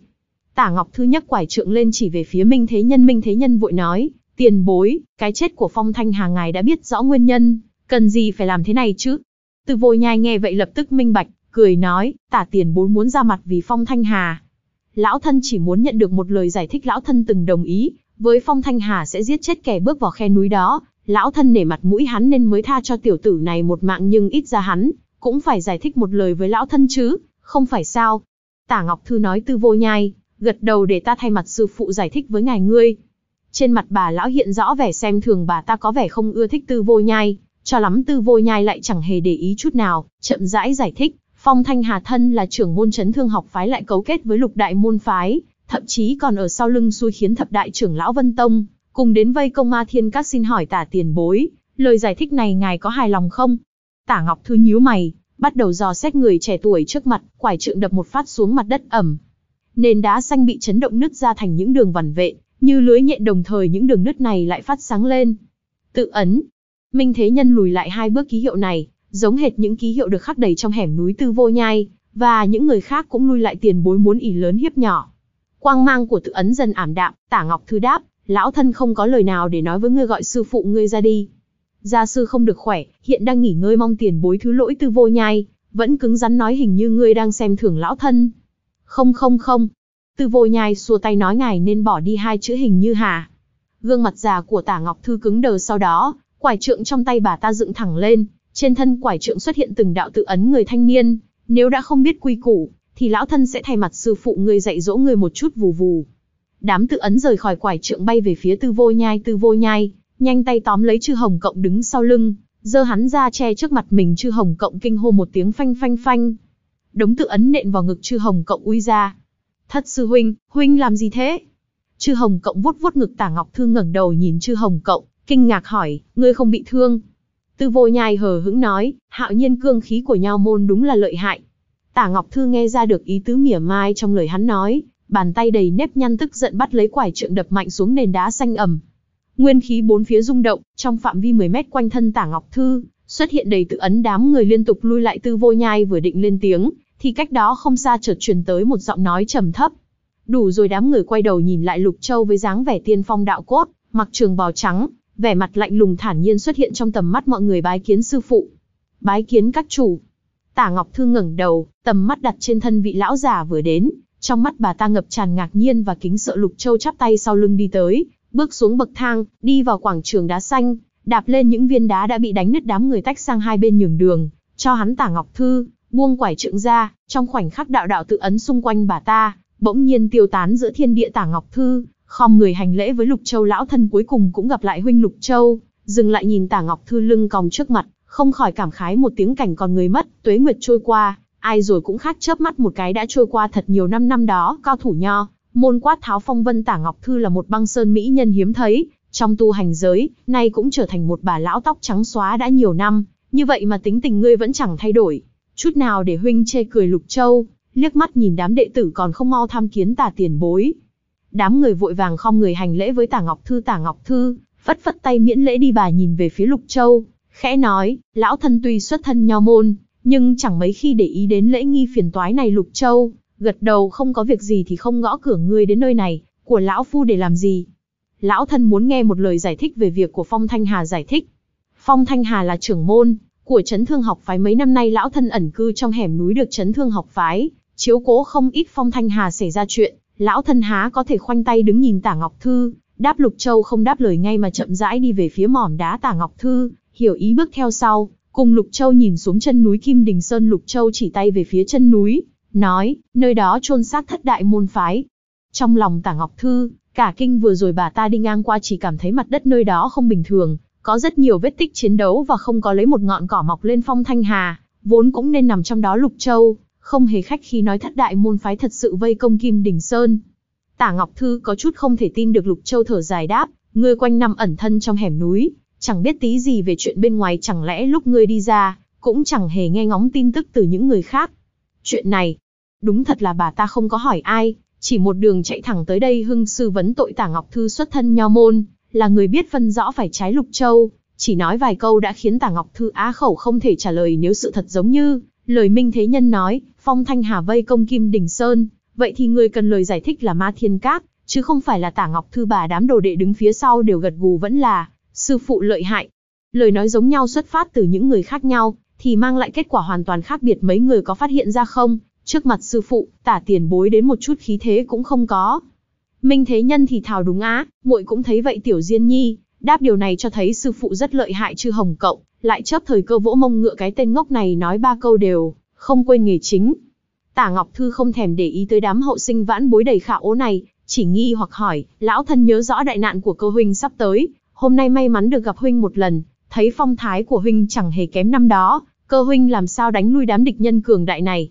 Xem ra Tả Ngọc Thư vẫn còn chút chất vấn đối với lời vừa rồi Lục Châu, không thèm che giấu, thản nhiên nói, thật không dám giấu giếm, lão phu đã bước vào cửu diệp đôi mắt già nua của Tả Ngọc Thư bỗng chốc trợn tròn, nếp nhăn quanh mắt giãn ra, trên gương mặt biểu lộ cảm xúc rất đặc sắc, mi mắt còn chớp chớp mấy lần biểu tình này chính là đang muốn nói, cóc tin. Tin ngươi mới lạ đó lão già họm hẹm xấu xa. Cơ huynh cảm thấy lão thân rất dễ bị lừa. Tả Ngọc Thư lừ mắt nhìn Lục Châu Lục Châu không thèm quan tâm bà ta tin hay không, chỉ liếc bà ta một cái rồi nói, nếu không phải nể tình xưa nghĩa cũ, chỉ dựa vào việc ngươi đánh nát sàn đá xanh của lão phu, đã là tội chết ngữ khí của Lục Châu rất bình thản, nhưng lời nói ra lại khiến người ta không rét mà run, từng từ từng chữ đâm thẳng vào tim gan đám đồ đệ cảm thấy cực kỳ hả giận, mà thân thể già nua của Tả Ngọc Thư, không khỏi run lên cho dù bà ta từng là thiên chi kiêu nữ, thì ở trước mặt cơ thiên đạo cũng phải nhịn lại toàn bộ ngạo khí vốn có Tả Ngọc Thư, khom người nói, vậy chẳng lẽ Phong Thanh Hà chết vô ích rồi. Đúng lúc này, một thân ảnh đột nhiên xuất hiện ở quảng trường, lạnh lùng nói, hắn đáng chết mọi người quay đầu nhìn sang lãnh la, trên mặt đeo mặt nạ bạc đang nhìn bộ dạng lưng còng già nua, của tả Ngọc Thư tả Ngọc Thư kinh ngạc thốt lên, là ngươi. Lãnh la là người không quan tâm đến quy củ, nói chuyện rất thẳng thừng tả Ngọc Thư, ngươi chẳng qua chỉ là người nổi danh khi còn trẻ ở ma thiên các, này không đến lượt ngươi làm càn lời này rất có đạo lý tả Ngọc Thư, niên thiếu thành danh, nếu xét về tuổi tác thì bà ta còn chẳng bằng lãnh la, càng không bằng cơ thiên đạo lãnh la có đủ tư cách phê bình bà tả Ngọc Thư đáp, lãnh la, lão thân không sợ ngươi vậy còn ta thì sao? Lại có thêm hai người xuất hiện ở quảng trường hoa vô đạo, đẩy xe lăn của Phan Ly Thiên, chậm rãi đi tới tả Ngọc Thư nhìn sang, bàn tay nhăn nheo khẽ run rẩy Phan Ly Thiên. Phan Ly Thiên cười ha hả nói, không ngờ còn có người nhận ra lão hủ đệ nhất cao thủ tịnh minh đạo, đương nhiên lão thân nhận ra nếu ngươi đã biết sao còn dám ở đây làm càn. Phan Ly Thiên tuy ngồi trên xe lăn, nhưng vẫn có thể quan sát đầy đủ hoàn cảnh chung quanh sàn đá xanh nứt toác, dấu vết rất rõ ràng dám làm càn ở đây, đúng là chán sống bái kiến các chủ Phan Ly Thiên chắp tay nói với Lục Châu Hoa Vô Đạo, cũng không người, bái. Kiến các chủ Tả Ngọc Thư tuy không biết Hoa Vô Đạo nhưng dựa vào cảm giác, cũng đã nhận ra lão giả này cũng là cao thủ tu hành không đơn giản ma thiên các, có nhiều cao thủ như vậy. Chư Hồng Cộng cười ha ha định nọt, các lão đầu thật uy vũ. Minh Thế Nhân hoàn toàn cạn lời cái thằng ngốc này, khả năng tìm đường chết đúng là nhất lưu vẫn nên tránh xa hắn ra thì hơn, đây là bệnh truyền nhiễm đó nha. Chư Hồng Cộng rốt cuộc cũng nhận ra mình nhầm mồm, lời này có khác gì đang mắng sư phụ là lão đầu đâu. Hắn lập tức tát mình một bạt tai đổi nhí biết sai. Tả Ngọc Thư nhíu mày bà ta không thể nào hiểu nổi đám thanh niên ngu xuẩn này, sao có thể làm đệ tử của cơ thiên đạo. Quá tệ rồi cách đó không xa một nữ đệ tử đi tới, không người nói với Lục Châu, các chủ, phi liễn đã chuẩn bị xong sư phụ, người định đi đâu thế? Minh Thế Nhân hiếu kỳ hỏi Tả Ngọc Thư Lục Châu, bỗng lên tiếng Tả Ngọc Thư nghi hoặc đáp, mời cơ huynh cứ nói nếu ngươi đã đến đây thì cùng đi đi Lục Châu, vừa nói vừa xoay người rời đi Tả Ngọc Thư kỳ quái không rõ hắn định đi đâu, nhưng không nghĩ nhiều, vội bước theo sau Minh Thế Nhân nói, lão bát, đưa lão thất về động diện bích a. A cái gì mà a, ở đây không còn việc của đệ còn muốn đi ra ngoài chơi. Nghĩ thật hay. Tư vô nhai vốn không có hứng thú gì với việc này, nhanh chóng quay về động diện bích hoa vô đạo giao việc đẩy xe lăn cho Phan Trọng, rồi cùng lãnh la đi theo sau lục châu Phan Ly Thiên vẫn cần phải tịnh dưỡng, không cần đi theo vào trong phi liễn. Minh Thế Nhân chủ động nói, để đồ nhi cầm lái. Tiểu Diên Nhi hỏi, sư phụ, chúng ta đi đâu thế? La Tông Tả Ngọc Thư nghi hoặc không hiểu, bèn hỏi, La Tông là tông môn do Vân Thiên La sáng lập, không biết cơ huynh đến đó làm gì? Cố nhân sắp phải đi xa, đến tạm biệt lần cuối lục châu vuốt dâu đáp nghe vậy, Tả Ngọc Thư nhất thời sửng sốt, mà Hoa Vô Đạo lại khẽ thở dài Minh Thế Nhân còn tưởng rằng sư phụ muốn đi gây sự với Vân Tông dù sao thập đại trưởng lão của La Tông cũng tham gia vây công Kim Đỉnh Sơn không ngờ, thì ra sư phụ muốn đi gặp mặt Vân Thiên La quan hệ giữa Vân Thiên La và Ma Thiên Các rất tốt, điều này ai cũng có thể nhìn ra thậm chí Vân Thiên La còn không tiếc giao ký ức phong ấn trong bàn cờ cho Ma Thiên Các Vân Thiên La, sao có thể phân phó thập đại trưởng lão Vân Tông đi vây công Ma Thiên Các được. Trong này tất có chuyện kỳ quặc Tả Ngọc Thư lại nói tiếp, tiểu tử Minh Thế Nhân từng nói, thập đại trưởng lão Vân Tông cũng tham dự vây công Kim Đình Sơn chuyến này huynh đi sang đó, chẳng phải là tự chui đầu vào lưới hay sao? Tự chui đầu vào lưới. Thập đại thánh địa của Tam Tông, 20 ngọn sơn phong, trận pháp từng vòng đan sen, lại có rất nhiều cao thủ thủ hộ. Ma thiên các là ma đạo, huynh đến đó không sợ xảy ra chuyện. Ông, nguyên khí rót vào bánh lái, xuyên vân phi liễn ù ù rung động, nhanh chóng bay lên bầu trời chẳng ai thèm trả lời tả ngọc thư tả ngọc thư, cảm thấy thật xấu hổ dựa vào thân phận và địa vị của bà ta, nếu đến tông môn khác hẳn sẽ được người người kính trọng, và nể sợ vậy mà đến ma thiên các, lại bị coi như người qua đường cơ thiên đạo không để ý tới bà ta thì thôi đi, đến hai tiểu đồ đệ này mà cũng dám coi thường bà ta là thế nào.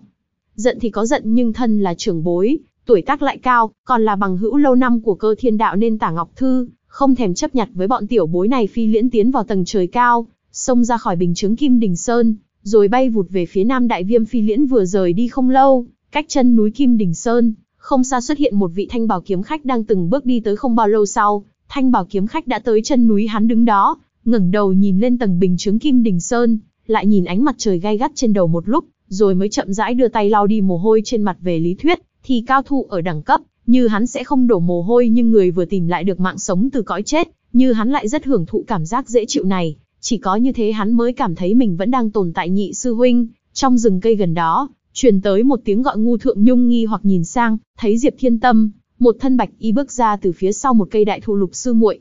Nhị sư huynh, ta đã biết huynh sẽ sống sót trở về Diệp Thiên Tâm mỉm cười nói mượn lời sư muội, ta gặp may mà thôi ngu thượng nhung, cười nhẹ một tiếng chuyện được đọc bởi kênh Halazy Audio. Nhị sư huynh trở về chậm rồi, sư phụ sáng nay vừa mới rời đi, chẳng biết đã đi đâu từ sau khi đánh hạ thất đại môn phái. Diệp Thiên Tâm vốn định lên núi thăm sư phụ, nhưng nghĩ lại mình đã không còn là đệ tử ma thiên các, nên thôi tại sao không đi lên. Ngu Thượng Nhung hỏi thôi ạ Ngu Thượng Nhung sao có thể không hiểu suy nghĩ của nàng, bèn nói, muội định cứ ở mãi dưới chân núi hay sao? Diệp Thiên Tâm đáp, sẽ không nói lời cáo từ rồi muội sẽ đi về hướng Tây tìm Thừa Hoàng. Vâng, có mục tiêu là chuyện tốt chúc lục sư muội thuận buồm xuôi gió. Ngu Thượng Nhung chắp tay với nàng một cái, rồi xoay người đi lên Kim Đình Sơn nhìn theo bóng lưng Ngu Thượng Nhung, Diệp Thiên Tâm có chút ngây ngẩn cả người, nàng cảm thấy hơi kỳ quái nhưng lại không thể nói ra lời nhị sư huynh hình như, chẳng buồn nói một câu giữ nàng lại xuyên vân. Phi liễn bay thật nhanh về phía Nam Đại Viêm, chiếc đuôi dài phía sau trông như một viên sao băng xẹt qua bầu trời lục châu, đứng bên cạnh Minh Thế Nhân, quan sát từng dãy núi trùng trùng điệp điệp Tả Ngọc Thư đi đến bên cạnh Lục Châu, khẽ nói, lão thân muốn thỉnh giáo một vấn đề nói đi lão thân đã tính toán thời gian, đại nạn của huynh. Khụ khụ khụ. Bà ta còn chưa nói hết lời, Minh Thế Nhân đã ho khan mấy tiếng Tả Ngọc Thư, nghi hoặc nhìn về phía Minh Thế Nhân. Minh Thế Nhân quay đầu lại cười nói, tả tiền bối, ta đã bảo gia sư tấn thăng cửu diệp rồi, mà cửu diệp đương nhiên sẽ tăng tuổi thọ ngài không phát hiện thấy gia sư trông trẻ tuổi hơn, trước sao? Lãnh La và Hoa Vô Đạo đều quay đầu nhìn về phía Lục Châu không nói không để ý, vừa so sánh đã thấy giật mình đúng là, các chủ trông có vẻ trẻ ra một chút Lãnh La còn đỡ, đa số vẫn là tóc đen mà mái tóc bạc trắng của Hoa Vô Đạo, lúc này trông lại có vẻ già cỗi nhất Tả Ngọc Thư yên lặng so sánh, trái tim run lên chẳng lẽ hắn thật sự tấn thăng cửu diệp rồi. Nhưng nếu thật sự là cửu diệp, thì tại sao cơ huynh không gọi ra pháp thân để xóa tan mọi nghi vấn của người khác? Thiên Đức Thánh Địa tại La Tông 20 tòa sơn phong trùng trùng điệp điệp, vân vụ lượn lờ từng tầng bình chướng trồng chất thể hiện rõ nội tình của tông phái này, tam trưởng lão trẻ tuổi nhất của La Tông, Lộ Bình, giờ phút này đang buồn rầu nhíu chặt mày đi tới đi lui nhị trưởng lão, làm sao bây giờ? Đại nạn của tổ sư gia đã tới mà Vân Tông, lại cứ phải đi vây công ma thiên các. Toàn bộ cao thủ của Tam Tông cộng lại, cũng không cách nào đối phó được với cửu diệp đâu. Lộ Bình nhìn về phía các trưởng lão khác, buồn bực nói trước đây, đám trưởng lão này rất xem thường hắn vì cứ A do nịnh nọt người ma thiên các lần này, ai nấy đều ngoan ngoãn ngậm miệng lại, nhất là nhị trưởng lão Đan Vân Tranh bây giờ nói mấy chuyện này, cũng vô dụng mau nghĩ biện pháp đi, nếu ma thiên các thật sự trách tội thì Tam Tông không chịu đựng nổi Đan Vân Tranh, nói theo ý kiến của ta, La Tông chúng ta nên liên thủ với Thiên Tông, cắt đứt quan hệ với đám người Vân Tông có như vậy, mới có thể tự bảo vệ mình có trưởng lão đề nghị ông ông. Bình chướng bên ngoài đột nhiên chuyển đến âm thanh nguyên khí cộng hưởng đám người, trong thiên đức thánh địa vội vàng ngẩng đầu nhìn lên, tầng bình chướng khổng lồ, trên đầu họ đang xảy ra ba động liên tục đám người cả kinh hô lên, có ngoại địch xâm lấn.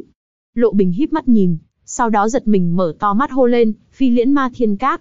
Lời vừa thốt ra, đám người lập tức kinh hãi có người lảo đảo lui lại mấy bước, có người hai chân run lên té phịch xuống đất cửu diệp đến trả thù rồi. Đến đòi mạng rồi. Chuyện gì nên tới rốt cuộc cũng tới lộ bình ngưng trọng nói, mọi người đừng hoảng hốt, Vân Tông sai chứ đâu phải La Tông và Thiên Tông sai, không liên quan đến chúng ta. Đám người gật gật đầu, ổn định lại tâm tình lộ bình đạp không bay lên, gọi ra pháp thân, nhanh như chớp xuyên qua tầng bình chướng nghênh đón xuyên vân phi liễn lát sau, lộ bình lơ lửng trên không trung, cất cao giọng nói, cơ lão tiền bối đại giá quang lâm, vân tông không tiếp đón từ xa, mong tiền bối thứ lỗi phi liễn thoáng dừng lại, minh thế nhân trông thấy lộ bình lập tức vẫy tay gọi, lại đây lại đây, cầm lái phi liễn cho ta nguyện vì ma thiên các hiệu lệnh. Lộ bình mừng rỡ vô cùng, điều này nói rõ ma thiên các không phải đến đây để trả thù la tông bọn hắn. Thấy cảnh này, Gương mặt già của Tả Ngọc Thư không khỏi kinh ngạc Tam Tông không hổ là Tam Tông, đối xử với mọi người cực kỳ hữu lễ, rất có giáo dưỡng lại nghĩ tới mình đến ma thiên các bị lạnh nhạt thế nào. Trong lòng Tả Ngọc Thư lại thấy ấm ức lộ bình bay vào phi liễn, vừa thấy Lục Châu đã lập tức quỳ sụp xuống, chán đập xuống đất phát ra tiếng bôm bốp lộ bình phúc đức ba đời mới được cầm lái, cho lão tiền bối Tả Ngọc Thư. Gương mặt già đầy nếp nhăn của bà ta nóng rát, như vừa bị người tát cho một cái cốt khí của Tam Tông đâu rồi. Bớt nói nhảm, nhanh lên coi Minh Thế Nhân đá vào mông Lộ Bình một cước được rồi, ta tới ngay. Một cước này của tứ tiên sinh khiến ta được lợi rất nhiều thời gian, của lão tiền bối sao có thể lãng phí ở chỗ ta được chứ Minh Thế Nhân, móa con hàng này có phải anh em thất lạc của lão bát nhà mình không?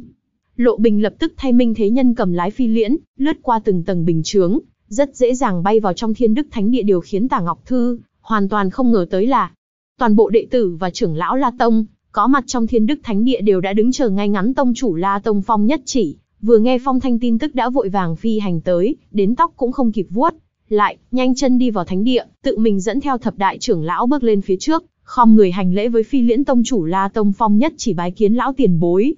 Bái kiến lão tiền bối. Không chỉ như thế, đám đệ tử ở các thánh địa chung quanh cũng vội vàng bay tới cuồn cuộn không ngừng, gia nhập vào đội ngũ nghênh đón Minh Thế Nhân cảm thấy vô cùng có mặt mũi, loại cảm giác này thật mẹ nó quá tuyệt mà lỗ mũi hắn hét lên, eo lưng thẳng tắp một đường lãnh la và hoa vô đạo tuy ngoài mặt bất động, nhưng trong lòng không khỏi tán thưởng quy củ, và đạo lý của thế gian này xưa nay vẫn vậy. Nắm đấm lớn thì có đạo lý, chẳng phân biệt chính ma tả Ngọc Thư đứng trên phi liễn, hoàn toàn được mở rộng tầm mắt cho dù là nho môn thánh nhân khi xưa, cũng chưa từng được đối xử trịnh trọng như vậy sư phụ, nhìn kìa, thật là nhiều người. Tiểu Diên Nhi chẳng quan tâm tới loại nghênh đón rầm rộ này, nàng chỉ đơn thuần ưa thích náo nhiệt, thích thưởng thức phong cảnh mà thôi. Trên 20 ngọn sơn phong bay ra lít nha lít nhít người, kết thành đội bay tới Thiên Đức Thánh Địa xuyên vân phi liễn vững vàng dừng lại nếu lúc này, tất cả cao thủ Tam Tông đều tấn công Ma Thiên Các, thì hậu quả thật khó mà lường được từ trước đến nay chính đạo và ma đạo luôn đối đầu như nước với lửa tuy Tam Tông không giống như thập đại danh môn,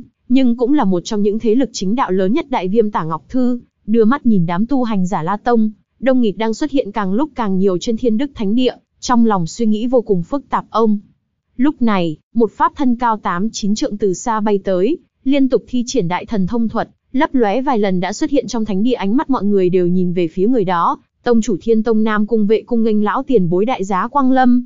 Mấy ngàn tên đệ tử thiên tông cũng lăng không khom người hành lễ, cung nghênh lão tiền bối. Tràng cảnh này vô cùng phô trương. Ai có thể không kích động? Nhớ tới lần trước ma thiên các đến, những tông chủ này không một ai xuất hiện, còn bây giờ bọn hắn dám không đến sao? Lục Châu điểm nhẹ mũi chân, phiêu nhiên bay ra khỏi phi liễn những người còn lại, cũng lục tục theo sau chiến trận không lớn, khí thế cũng không ồ ạt như trong tưởng tượng của mọi người, nhưng đám đệ tử Tam Tông đến thở mạnh cũng không dám, không ai dám nhìn thẳng vị lão nhân này miễn lễ thanh âm Lục Châu, quanh quẩn trên Thiên Đức Thánh Địa tất cả mọi người âm thầm thở phào một hơi, lần lượt hạ xuống đất tông chủ Thiên Tông Nam Cung Vệ và tông chủ La Tông Phong nhất chỉ, hạ xuống đất, đồng thời không người không biết tiền bối đột nhiên viếng thăm là có việc gì cần làm. Nam Cung Vệ cung kính nói Lục Châu đưa mắt nhìn hắn Vân Tông Vân vô cực đâu. Quả nhiên Nam Cung Vệ và Phong Nhất chỉ lộ vẻ mặt khó xử đám đệ tử, cũng đưa mắt nhìn nhau, khe khẽ nghị luận Nam Cung Vệ sắc mặt khó coi nói, lão tiền bối, chuyện của Vân Tông, Thiên Tông không hề mảy may ngờ, tới sau khi chuyện xảy ra vãn bối mới biết bọn hắn tham dự cuộc vây công La Tông, cũng không hề biết chuyện này. Vân Tông bây giờ đúng là không ra gì, chuyện này chúng vãn bối nhất định sẽ bàn giao thỏa đáng với ma thiên các Vân Thiên La, Tam Tông xảy ra nội chiến không phải chuyện ngày một ngày hai hiện tại nháo tới mức này, cũng không có gì lạ bàn giao như thế nào. Lục Châu trầm giọng hỏi chuyện này. Nam Cung Vệ và Phong Nhất chỉ đều là tông chủ, lời nói của bọn hắn có đủ trọng lượng, thế nên Lục Châu chỉ hỏi hai người Phong Nhất chỉ khom người đáp, lão tiền bối xin cứ nói ra yêu cầu ngài muốn bàn giao như thế nào thì sẽ bàn giao. Như thế ấy lời này khiến Tả Ngọc Thư vô cùng kinh ngạc trước mặt Ma Thiên Các, Tam Tông lại khúm núm tới mức này. Đúng lúc này, một tên đệ tử từ xa vội vàng bay tới, trên mặt lộ vẻ kinh hãi, mồ hôi ướt đẫm cả người hai, hai vị tông chủ không, không xong rồi. Khi tên đệ tử hạ xuống, vì quá lo lắng nên ngã nhào xuống đất sắc mặt nam cung vệ trầm xuống, vội vàng hấp tấp như vậy còn ra thể thống gì? Có chuyện gì mà gấp gáp như vậy?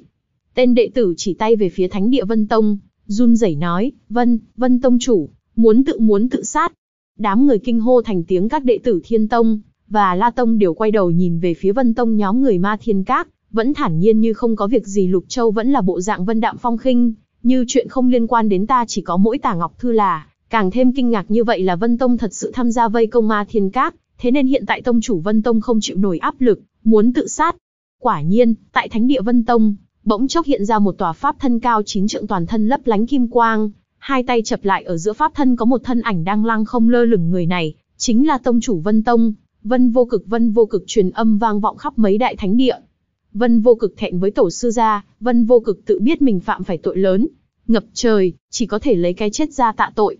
Ha ha, âm thanh vang dội nhưng không mang theo lực sát thương, tiếng ha ha cuối cùng lại có vẻ bất đắc dĩ, và không cam lòng mấy ngàn đệ tử Tam Tông đều nhìn, về phía pháp thân của vân vô cực người người đều biết tông chủ vân tông, hành sự lôi đình, là kỳ tài khó gặp trong tu hành giới, đi từ tầng, dưới chót lên đến đỉnh cao nhất trong Vân Tông hắn đã bỏ ra biết bao công sức, bỏ ra biết bao tâm huyết đáng tiếc, chỉ thiếu một bước lại là, khác nhau một trời một vực Nam Cung Vệ và Phong Nhất chỉ nhìn về phía pháp thân, trong lòng không mảy may ba động không ai đáp lời Vân Vô Cực sau một khắc yên tĩnh, Vân Vô Cực buồn bã nở nụ cười. Ha ha ta thật sự sai lầm rồi sao?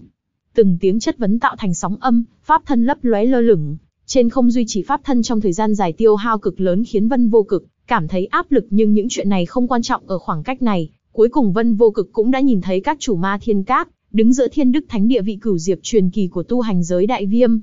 Dù hắn đã nhìn thấu sinh tử, dù hắn đã chuẩn bị tinh thần lấy cái chết để tạ tội, nhưng khi nhìn thấy Lục Châu, trái tim hắn vẫn đập rộn lên Vân Vô Cực nghèn nghẹn hỏi Lục Châu, cơ lão tiền bối ta, ta có sai không? Không rõ hắn đang khóc hay cười Nam Cung vệ trầm giọng đáp, Vân Vô Cực, ngươi đã đánh mất lý trí rồi ta không mất lý trí.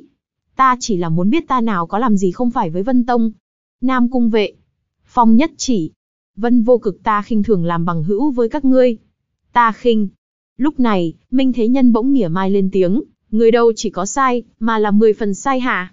Ánh mắt Vân Vô Cực rời từ người Lục Châu sang Minh Thế Nhân đứng bên cạnh loại mặt hàng, như ngươi không xứng để ra sư xuất thủ. Lại còn dám ra vẻ đạo mạo ca tụng công đức cho bản thân muốn chết, thì chết nhanh đi. Đám nhân sĩ chính đạo này, Minh Thế Nhân đã thấy quá nhiều luôn mồm nói mình vì tông môn, thế nhưng ở sau lưng lại làm ra đủ chuyện không ra gì, lại còn ca tụng bản thân làm chuyện công đức, kỹ nữ còn muốn được lập đền thờ. Lồng ngực vân vô cực quát nghẹn hắn không có lựa chọn nào khác. Minh Thế Nhân thấy hắn sững sở lại nói thêm, còn đứng ngây ra đó làm gì? Đệ tử Tam Tông đang chờ ngươi tự sát kìa, mau chết đi chứ. Thái độ Minh Thế Nhân khác thường, cảm xúc dần trở nên kịch liệt ngươi không phải nói mình vì Vân Tông sao? Nếu ngươi không chết thì toàn thể Vân Tông đều phải chôn cùng. Vân vô cực mất đi lý trí chỉ là lần dãy dụa sau cùng mà thôi trên thực tế, từ ngày tin tức thập đại trưởng lão phối hợp với thất đại môn phái vây công Kim Đình Sơn thất bại, toàn bộ chiến tử, thì kết cục của Vân Vô Cực đã được xác định mấy ngàn đệ tử thập đại thánh địa và các cao thủ hạch tâm bao vây toàn bộ Vân Tông Thiên Tông và La Tông đâu có ngốc, thay vì đắc tội cửu diệp, bắt lấy một mình kẻ cầm đầu mọi chuyện là Vân Vô Cực há chẳng dễ dàng hơn nhiều. Mâu thuẫn giữa Tam Tông lúc này đã triệt để bùng phát Vân Vô Cực, trong phút chốc biến thành tội nhân của Tam Tông đã không được chết tử tế thì thôi, lại còn phải gánh thêm tiếng xấu muôn đời, Vân Vô Cực sao có thể cam tâm. Hắn nhìn về phía Minh Thế Nhân, trong lòng do dự không thôi pháp, thân cao chín trượng xuất hiện ba động nhỏ duy trì pháp thân bách kiếp động minh, quá lâu là việc cực kỳ tốn công tốn sức, mà lại không có kết quả gì nghe bảo phải đem toàn bộ Vân Tông chôn cùng. Vân Vô Cực không còn lựa chọn hắn nhìn về phía Minh Thế Nhân, nói, được chết ra một chút Minh Thế Nhân, phẩy tay đám đệ tử Tam Tông không một người nào lên tiếng, không một người nào ra mặt vì Vân Vô Cực, hắn hắn cảm thấy cực kỳ ủy khuất nhìn biểu lộ chết lặng của đám người, Vân Vô Cực đột nhiên cảm thấy hắn thật sự đã làm sai rồi. Dựa vào cái gì? Dựa vào cái gì mà chỗ tốt thì mọi người cùng hưởng, lãnh trách nhiệm lại chỉ có một mình hắn. Càng nghĩ càng tức giận con người đôi khi sẽ như thế, thái độ chuyển biến chỉ trong phút chốc vì đám người này mà tự sát sao? Không đáng. Được. Vân vô cực lùi lại càng lùi càng xa các đệ tử Tam Tông nhìn Vân vô cực, không chớp mắt Vân vô cực một mực thối lui, lui về đến tầng bình chứng ông. Pháp thân thu lại bình chứng phát ra âm thanh cộng hưởng tạo thành từng cơn sóng gợn, trong khoảnh khắc sóng gợn tản ra, Vân vô cực lao vọt ra khỏi bình chứng hà. Minh thế nhân trợn tròn mắt, ê, ê, ê trốn rồi sao? Đám đệ tử Tam Tông ngây người nhìn theo bóng dáng đang chạy trốn ngày càng xa, của Vân vô cực, không thể tin nổi mới vừa rồi còn hiên ngang lẫm liệt chất vấn mọi người, rất có phong phạm anh hùng Vân Tông, vậy mà một giây sau đã quay đầu bỏ chạy. Vân vô cực càng bay càng xa, vừa phi hành vừa thi triển đại thần thông, thân ảnh hắn lóe lên, một phát xuyên qua ba tầng bình chướng sư phụ, để đồ nhi đuổi theo. Minh Thế Nhân đang nói bỗng im bặt, bởi vì hắn nhìn thấy sư phụ kéo căng dây cung vù.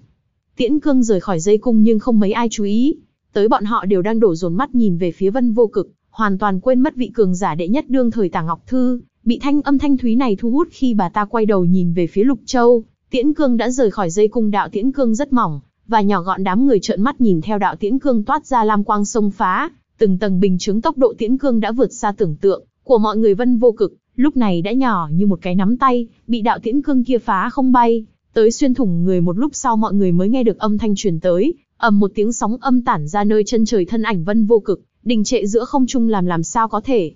Cửu cửu diệp thần xạ thủ sao? Vân vô cực lắp bắp thốt lên ngay sau đó, nguyên khí từ trong đan điền khí hải phát tán ra ngoài, vân vô cực thẳng tắp rơi xuống rừng cây bên dưới, biến mất khỏi tầm mắt mọi người tinh, đánh giết một tên mục tiêu, thu hoạch được 1.500 điểm công đức thiên đức thánh địa hoàn toàn yên tĩnh cho, Tới khi vân vô cực rơi xuống, mọi người đều chưa kịp hoàn hồn, trong mắt tràn ngập rung động kể cả Tả Ngọc Thư Tả Ngọc Thư biết cơ thiên đạo đã lâu, nhưng chưa từng biết hắn nắm giữ tiễn thuật cao siêu như vậy, từ khoảng cách xa đến thế lại bắn thủng một tên cao thủ thất diệp. Ngoại trừ cửu diệp, còn ai làm được? Mà đám người ma thiên các lại vô cùng bình thản, bọn hắn thấy Lục Châu dây giết thất diệp đã nhiều lần, lúc đó còn thắc mắc mãi không hiểu sao sư phụ lợi hại đến thế, bây giờ nghĩ lại mới hiểu rõ ràng cửu diệp dây giết thất diệp, chẳng phải là chuyện rất hợp lý hợp tình sao. Lục Châu thu hồi vị danh cung, âm thầm đo đếm lực lượng phi phàm còn lại trong cơ thể chỉ còn khoảng một nửa vì, để chắc chắn tất sát vân vô cực, Lục Châu vận dụng không ít lực lượng phi phàm nếu ở khoảng cách gần thì Lục Châu chỉ cần sử dụng một phần ba lực lượng phi phàm là đủ nhưng lúc này, Lục Châu sao có thể để vân vô cực chạy thoát, còn không bằng tự sát, ít nhất hắn còn để lại chút thanh danh. Ta khinh. Minh Thế Nhân đột nhiên lên tiếng phá vỡ bầu không khí yên tĩnh đúng vậy. Nào có ai như hắn, nói chạy là chạy còn không biết xấu hổ hơn cả tứ sư huynh ta. Tiểu Diên Nhi cũng mắng mọi người rốt cuộc, cũng tỉnh táo lại Lục Châu liếc mắt nhìn Minh Thế Nhân, mặt không biểu tình hắn muốn chết, lão phu thành toàn cho hắn chẳng diện lại lặng ngắt, như tờ Tam Tông có nghi vấn gì không? Lục Châu quét mắt nhìn bốn phía câu nói rất bình tĩnh, thanh âm cũng không lớn nhưng lại cực kỳ mạnh mẽ trầm mặc một lát, tông chủ Thiên Tông Nam cung vệ không người nói, vãn bối sao dám nghi vấn hắn vốn đáng chết đúng vậy, hắn vốn đáng chết. Phong nhất chỉ phụ họa nói sau lưng Nam cung vệ, và Phong nhất chỉ đã đổ đầy mồ hôi lạnh, âm thầm nuốt nước bọt không một ai thương hại vân vô cực, mà hắn cũng không đáng được đồng tình đúng lúc này. Tại động bế quan trên thiên đức thánh địa, cánh cửa đá từ từ mở ra vân thiên la, ngồi trên xe lăn được một đệ tử đẩy ra ngoài, thần thái uể oải, ánh mắt vô lực, khí tức yếu ớt tổ sư gia. Bái kiến tổ sư gia. Các đệ tử Tam Tông lần lượt không người hành lễ truy cập halayzi.com, hoặc link mình để ở phần mô tả để mời em ly cà phê nhé. Vân Thiên La ngồi trên xe lăn trông, như lúc nào cũng có thể tắt thở hắn cố gắng ngẩng đầu, ánh mắt uể oải nhìn Lục Châu, gương mặt già nua cố nở một nụ cười, lão phu biết, cơ huynh nhất định sẽ tới Lục Châu chắp tay đi, về phía Vân Thiên La đám người xung quanh lập tức nhường đường hai người bốn mắt nhìn nhau, Lục Châu khẽ nói, đại nạn của ngươi đã tới, vẫn còn chống đỡ được sao?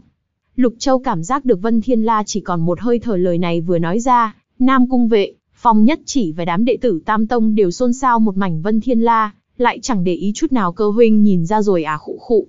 Sau khi ho một trận kịch liệt, Vân Thiên La tiếp tục nói, trong lòng lão phu còn có tiếc nuối nên chưa đi được Lục Châu, lắc đầu cố chấp cứ cho là lão phu cố chấp đi. Vân Thiên La gật gù ngươi vốn còn có thể sống thêm 10 năm. Ai đã đánh ngươi một trưởng? Lục Châu hỏi một viên sỏi giấy lên ngàn cơn sóng Nam Cung Vệ và Phong Nhất Chỉ, kinh ngạc ngẩng đầu, hai người đồng thời quỳ xuống tổ sư gia, là kẻ nào? Kẻ nào to gan dám tổn thương người? Ta nhất định phải chém hắn thành trăm mảnh. Vân Thiên La phất tay nói, không cần hai người nghi hoặc không hiểu Vân Thiên La, khẽ thở dài Vân Vô Cực đã có kết cục xứng đáng với hắn là Vân Vô Cực. Tên khốn kiếp khi sư diệt tổ, vậy mà ẩn tàng sâu như thế. Người đâu? Có thuộc hạ đi tìm thi thể Vân Vô Cực, phơi thấy ba ngày rồi chém thành trăm mảnh. Nam cung vệ hạ lệnh vâng. Mấy vị trưởng lão ngự không bay lên lao ra khỏi thánh địa nghe vậy, các đệ tử trong lòng đều run rẩy tông thủ thiên tông, một khi độc ác thật chẳng kém ai. Còn đám đệ tử Vân Tông ai nấy đều khổ sở và thấp thỏm, tông chủ Vân Tông chết đi, mâu thuẫn giữa Tam Tông cũng hoàn toàn bị kích phát người không có phận sự thì giải tán đi. Vân Thiên La thản nhiên nói Nam Cung vệ vội vàng hạ lệnh, mau cút hết đi. Các đệ tử Tam Tông vội vàng tản đi hết, chỉ còn lại đám trưởng lão, và các đệ tử hạch tâm ở lại thánh địa lục châu vuốt dâu nói, ngươi có biết vì sao bản tọa đến đây không? Vân Thiên La nói, ồ, lão phu cứ ngỡ cơ huynh đến thăm ta lần cuối xem ra là, lão phu tự mình đa tình. Cũng không hẳn vậy ngươi còn chuyện gì tiếc nuối. Lục Châu hỏi tuy nói việc tấn thăng cửu diệp chẳng liên quan gì đến Vân Thiên La, nhưng Lục Châu không tiện giải thích Vân Thiên La, thở dài một tiếng trầm thấp lão phu nghiên cứu cửu diệp đã nhiều năm, vẫn luôn muốn xông phá cánh cửa kia đáng tiếc là lần nào cũng thất bại, cuối cùng rơi vào kết cục như ngày hôm nay, cũng là gieo gió gặt bão. Trăm năm qua, lão phu chỉ có làm đúng một việc ngữ khí hắn lại trầm xuống đó, chính là giao vật trong bàn cờ cho cơ huynh ngoài mặt lục châu, vẫn bình thản nhưng trong lòng lại đang chửi ầm lên lão già này, quá mức nha. Thật sự cho rằng, lão phu đột phá lên cửu diệp có liên quan đến cái bàn cờ nát của ngươi sao? Cả đời này lão phu chỉ muốn nhìn trộm xem thế giới cửu diệp là như thế nào, đây cũng là tiếc nuối lớn nhất đời lão phu nếu cơ, huynh có thể thỏa mãn tâm nguyện này, dù chết lão phu cũng khắc ghi ân đức của huynh, nếu không lão phu chết không nhắm mắt lời này nghe cứ như đang dọa người ta lúc này, Tả Ngọc Thư chợt lên tiếng, Vân Thiên La, nhiều năm không gặp, không ngờ huynh lại trở nên già mồm như thế. Vân Thiên La giật mình quay đầu nhìn về phía Tả Ngọc Thư ngươi là, Lão thân là Tả Ngọc Thư Vân Thiên La nghe vậy, đôi mắt già mở to, trong đầu lại hiện lên ký ức của 500 năm trước về một mỹ nhân tuyệt thế, dáng người yểu điệu, da trắng nõn nà, má lúm đồng tiền động lòng người trong lúc nhất thời hắn kinh ngạc hô lên, tả cô nương. Thì ra chính là nàng quẹ. Minh Thế Nhân vội vàng quay đầu sang một bên làm tư thế nôn khan tả Ngọc Thư, nhíu mày nói, huynh vẫn nên đổi xưng hô đi. Lão thân nghe câu này của huynh e là cả đêm ngủ không yên giấc vân thiên la, lộ vẻ xấu hổ năm xưa tả Ngọc Thư là đối tượng theo đuổi, của rất nhiều thanh niên tài tuấn chỉ tiếc tả Ngọc Thư, tính tình cương liệt chẳng khác gì nam nhân, một lòng chỉ muốn truy cầu nho đạo, không hề để ý đến tư tình nhí nữ một chút nào 500 năm trôi qua, thương hải tăng điền, mỹ nhân tuyệt thế cũng chỉ còn lại trong ký ức ngươi muốn bản tọa làm gì cho ngươi.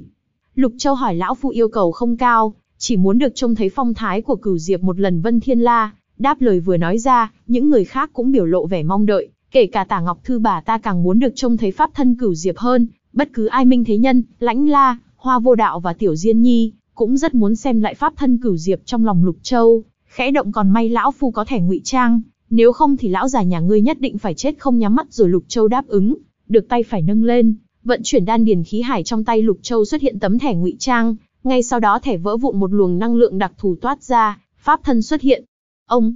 âm thanh năng lượng cộng hưởng vang vọng khắp thiên đức, thánh địa đám người mở to mắt nhìn pháp thân khổng lồ cao, đến 15 trượng trước mặt, bởi vì khoảng cách quá gần nên bọn họ phải ngước đầu nhìn lên rất cao đáng tiếc, cao không thấy đỉnh tòa kim liên dưới trướng sáng lấp lánh tỏa, ra kim quang chói mắt chín phiến lá sung mãn, không ngừng xoay tròn tất cả mọi người đều nín thở đây, chính là pháp thân cửu diệp kim liên. Kích động, run rẩy, rối loạn cảm xúc. Đây là mục tiêu của cả tu hành giới, mỗi một tia sáng, mỗi một phiến lá đều cực kỳ ấn tượng, vô cùng chói mắt. Tả Ngọc Thư lảo đảo lui lại, hoàn toàn bị pháp thân cửu diệp chấn động trước đó Tả Ngọc Thư còn hơi nghi ngờ, nhưng hiện tại tất cả chất vấn đều biến mất không còn sót lại, dù chỉ một chút thật ra lúc Tả Ngọc Thư bước chân lên phi liễn, cũng đã bị Lục Châu thuyết phục từ thái độ cung kính của đệ tử Tam Tông bà ta, cũng đã hiểu được đó là sự thật. Thế nhưng khi được tận mắt nhìn thấy pháp thân cửu Diệp Kim Liên, bà ta vẫn bị chín phiến lá làm cho rung động không thôi dạo gần đây. Các đệ tử Tam Tông đều đang do dự không biết có nên thử nghiệm chảm Kim Liên, hay không chảm sớm thì sẽ ngưng tụ liên diệp sớm,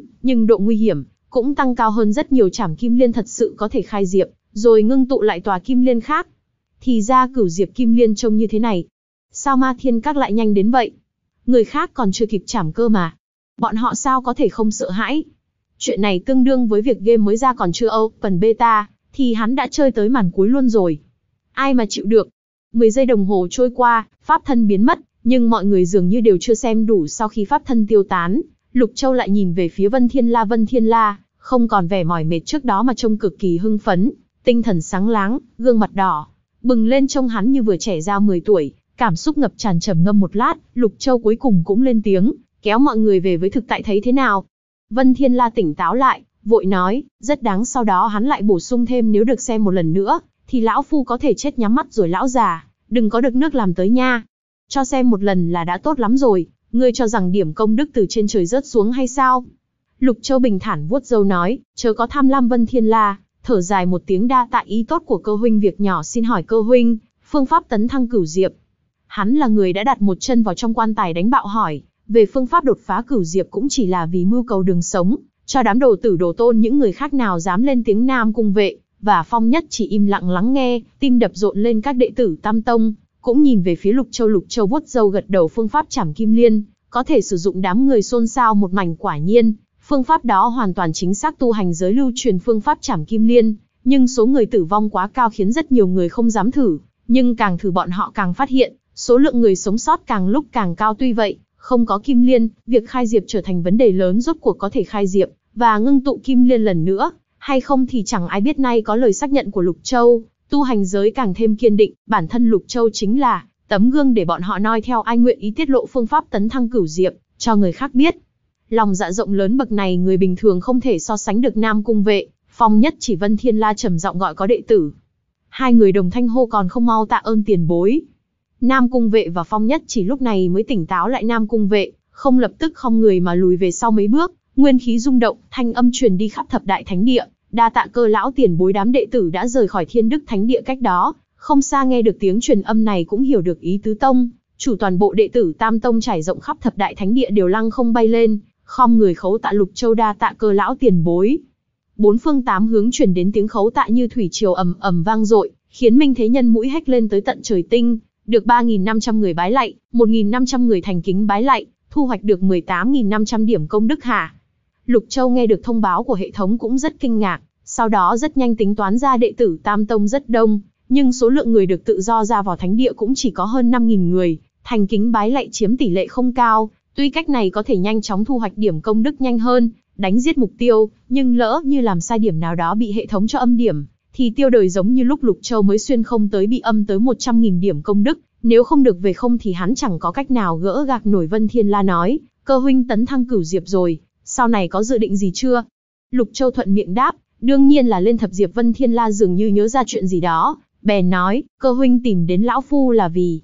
Đúng vậy, bản tọa tới tìm ngươi có hai việc một là muốn tới thăm ngươi một chút, tiễn biệt lần cuối mọi sinh mệnh trên thế gian này đều không thoát khỏi cái chết, ít đi một người là thiếu đi một cố nhân nghe vậy, đám người khe khẽ thở dài biểu lộ rất đúng chỗ, thanh âm chân thành nhưng trông rất dối trá Vân Thiên La không giống đám đệ tử, giọng hắn trở nên trầm thấp vô lực, có lời này của cơ huynh, cả đời lão phu sống không uổng phí minh thế nhân vốn định làm tư thế nôn ọe, nhưng thấy thần sắc lão nhân này không ổn, hơi thở mong manh, sinh cơ dần trôi đi nên đành thôi cơ huynh không cần nói rõ việc thứ hai, lão phu đã biết hầy cuối cùng cơ huynh, cũng đã tin Vân Thiên La nhớ lại chuyện trước kia bản tọa tin 300 năm trước, nếu không nhờ nàng ta lưu lại công pháp tu hành, thì sao lão phu thành lập được Tam Tông thế nhân còn cho rằng lão phu là thiên tài tu hành. Ha ha, thực ra lão phu chỉ là một thường nhân mà thôi. Vân Thiên La lắc đầu nói mọi người nghe vậy đều trợn tròn mắt nàng ta là ai. Tổ sư gia đang nói về chuyện gì? Tam Tông tồn tại thì ra có quý nhân giúp đỡ. Đây cũng là lý do quan trọng nhất khiến Lục Châu đi tới Thiên Đức Thánh Địa năm đó Vân Thiên La chỉ là một tu hành giả khá có thiên phú, về sau lại đột nhiên tăng mạnh hắn và cơ thiên đạo quen biết đã lâu, tuy đạo khác biệt, nhưng không có xung đột về lợi ích thế nhân đều thắc mắc vì sao tu vi Vân Thiên La lại tịnh tiến nhanh như vậy. Vân Thiên La nói hắn gặp được quý nhân quý nhân nói trên đời này, không chỉ có bát diệp, còn có cửu diệp, thập diệp. Chỉ là không ai tin lời hắn, đều xem đó là một trò cười lục châu gật gù lúc đó, quả thật bản tọa cũng cho rằng ngươi ăn nói bừa bãi thời gian sẽ là minh chứng cho mọi câu hỏi, mà cửu diệp chính là minh chứng mạnh mẽ nhất Vân Thiên La, lộ ra vẻ kiêu ngạo nhớ lại tất cả những việc mình đã làm, Vân Thiên La không hề thấy hối hận, nhất là trước khi Lâm Trung lại được nhìn thấy cửu diệp, đời này hắn sống không uổng phí trong ký ức Vân Thiên La, hiện ra tình cảnh của 300 năm trước chỉ tiếc cảnh còn người mất nàng ta tên gọi, là gì? Lục Châu hỏi Vân Thiên La lộ vẻ tiếc nuối, lắc đầu nói, nhân vật như vậy đều có hành tung phiêu hốt bất định, sao lão phu biết được có lẽ nàng ta đã lên thập diệp từ lâu, mai danh ẩn tích sống một mình nơi thâm sâu cùng cốc thập diệp có tồn tại. Mọi người nghe được hai chữ thập diệp, kinh hãi vô cùng cửu diệp đã đủ khiến người ta tuyệt vọng, vậy mà vẫn còn thập diệp. Tổ sư gia sắp chết nên bắt đầu nói mê sảng rồi sao? Chỉ là phán đoán của lão phu qua mấy câu nói của nàng ta mà thôi, có hay không lão phu cũng không biết khụ khụ cũng có thể không có. Vân Thiên La có vẻ mệt mỏi dã rời nàng ta trông như thế nào? Trông rất trẻ trung. Vân Thiên La vô lực đáp lúc này, Tả Ngọc Thư đứng bên cạnh chợt lắc đầu nói, chỉ sợ nàng ta bây giờ cũng chẳng khác gì lão thân, đều là bà lão già nua họm hẹm Vân Thiên La ngẩng đầu nhìn Tả Ngọc Thư, trong cổ họng hộc ra một chữ A, không nói gì nữa Minh Thế Nhân nói, cho dù có già đi nhưng người khiến Vân Tiền bối gia tăng tu vi nhanh như vậy, nhất định là người vô cùng bất phàm lời này rất có đạo lý. Tả Ngọc Thư không thể phản bác từ khi bước chân vào nho môn, Tả Ngọc Thư vẫn luôn được mọi người xưng tụng là thiên tài khó gặp suốt mấy trăm năm qua đáng tiếc, bà ta thất bại bởi vì mang thân nữ nhi nếu có thể bước lên đỉnh cao nhân sinh, có lẽ bà ta cũng có thể đặt chân vào cửu diệp, có lẽ hiện tại đã là cửu diệp, hoặc có lẽ, đã sớm chết thế nhưng là, người có thể khiến Vân Thiên La nghịch thiên cải mệnh rốt cuộc là ai? Nàng ta từ đâu đến? Vân Thiên La đã cao tuổi, đầu óc mơ hồ, khó có thể nhớ lại rõ ràng mọi chuyện từng hình ảnh ngắn xuất hiện trong đầu hắn, như bầy cá dưới hải dương đang bơi loạn hắn muốn vươn tay tóm lấy một con, nhưng hữu tâm vô lực biển ký ức dần dần biến thành một mảnh tối đen ý thức, cũng trở nên mơ hồ. Tổ sư gia. Tổ sư gia,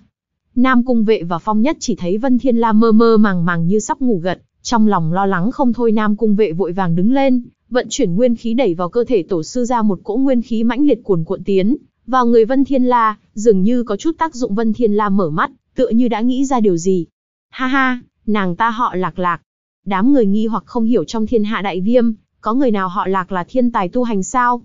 Lục Châu vừa vuốt râu vừa suy nghĩ, chợt nhớ tới lời Tư Vô Nhai nói, thiên địa là lồng giam, kim liên là xiềng xích như vậy, những người này là kẻ đứng sau lưng mọi chuyện. Nghĩ đến đây, trong lòng Lục Châu cả kinh, nhưng rất nhanh lại lắc đầu không thể nào. Nhân loại rốt cuộc vẫn là nhân loại, ai có thể biến thiên địa thành một nhà tù được chứ? Đáp án rốt cuộc là gì? Họ Lạc, tên là gì? Lục Châu lại hỏi lần nữa có lẽ tìm được người này, thì mọi chuyện sẽ trở nên rõ ràng không không nhớ rõ.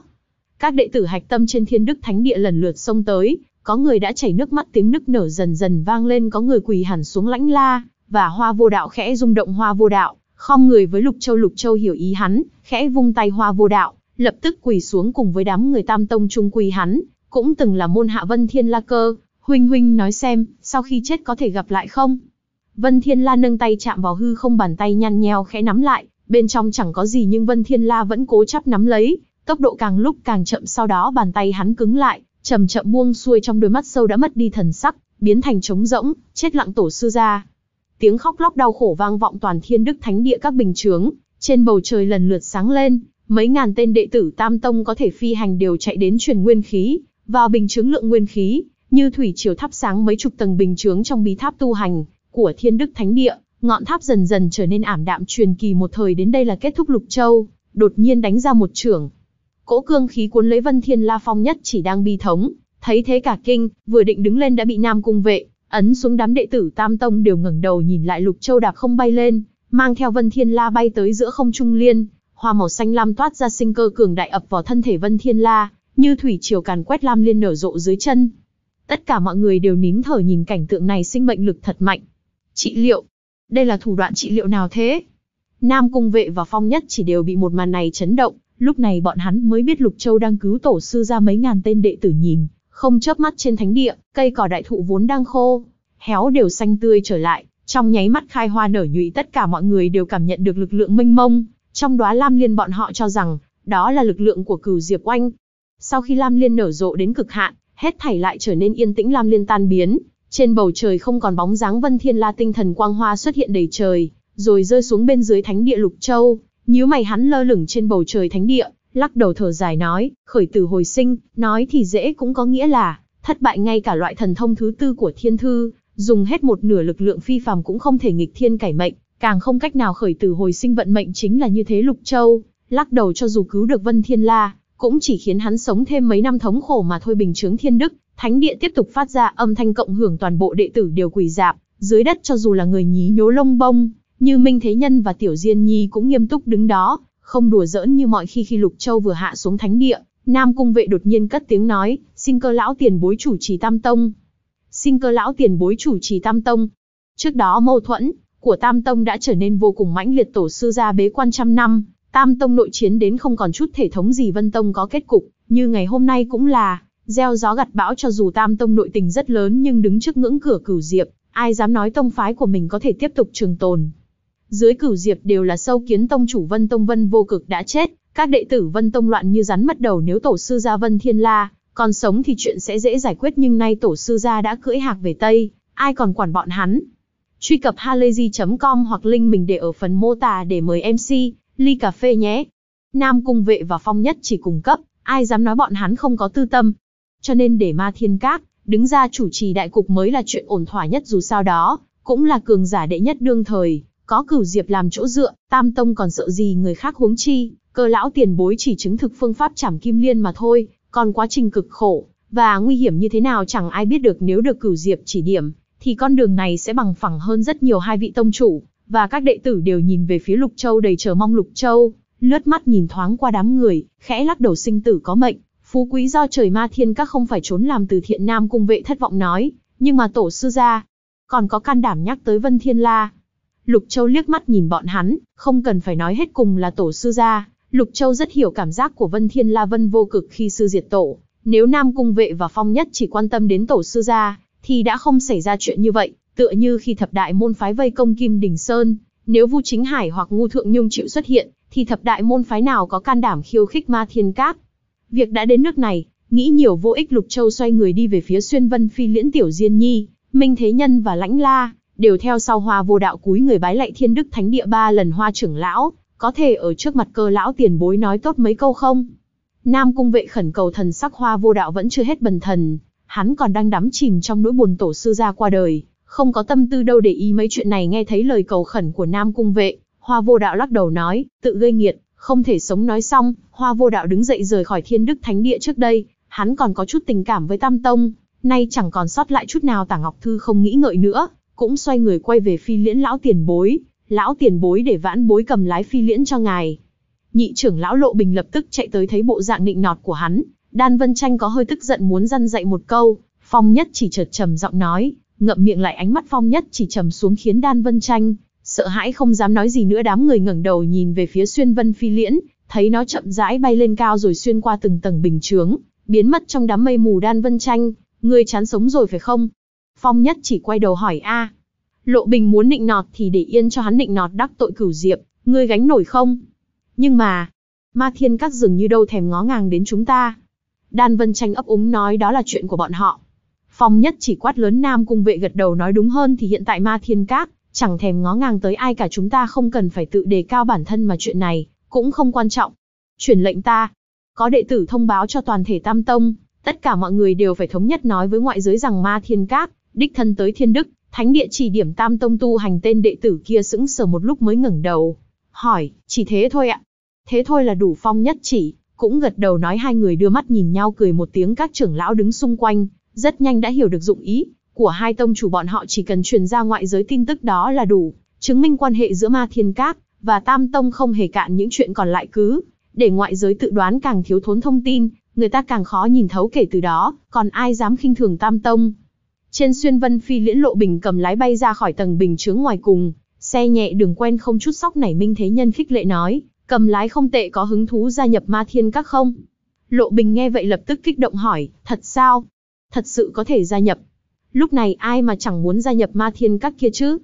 Đương nhiên là không minh thế nhân đáp nếu là trước đây, hắn còn suy nghĩ xem có nên thuyết phục sư phụ thu nhận người này không, nhưng hiện tại ma thiên các chỉ thu người mạnh thấy cảnh này, tả ngọc thư nhíu mày ngay cả tu hành giả nguyên thần, cảnh cũng không lọt vào mắt ma thiên các.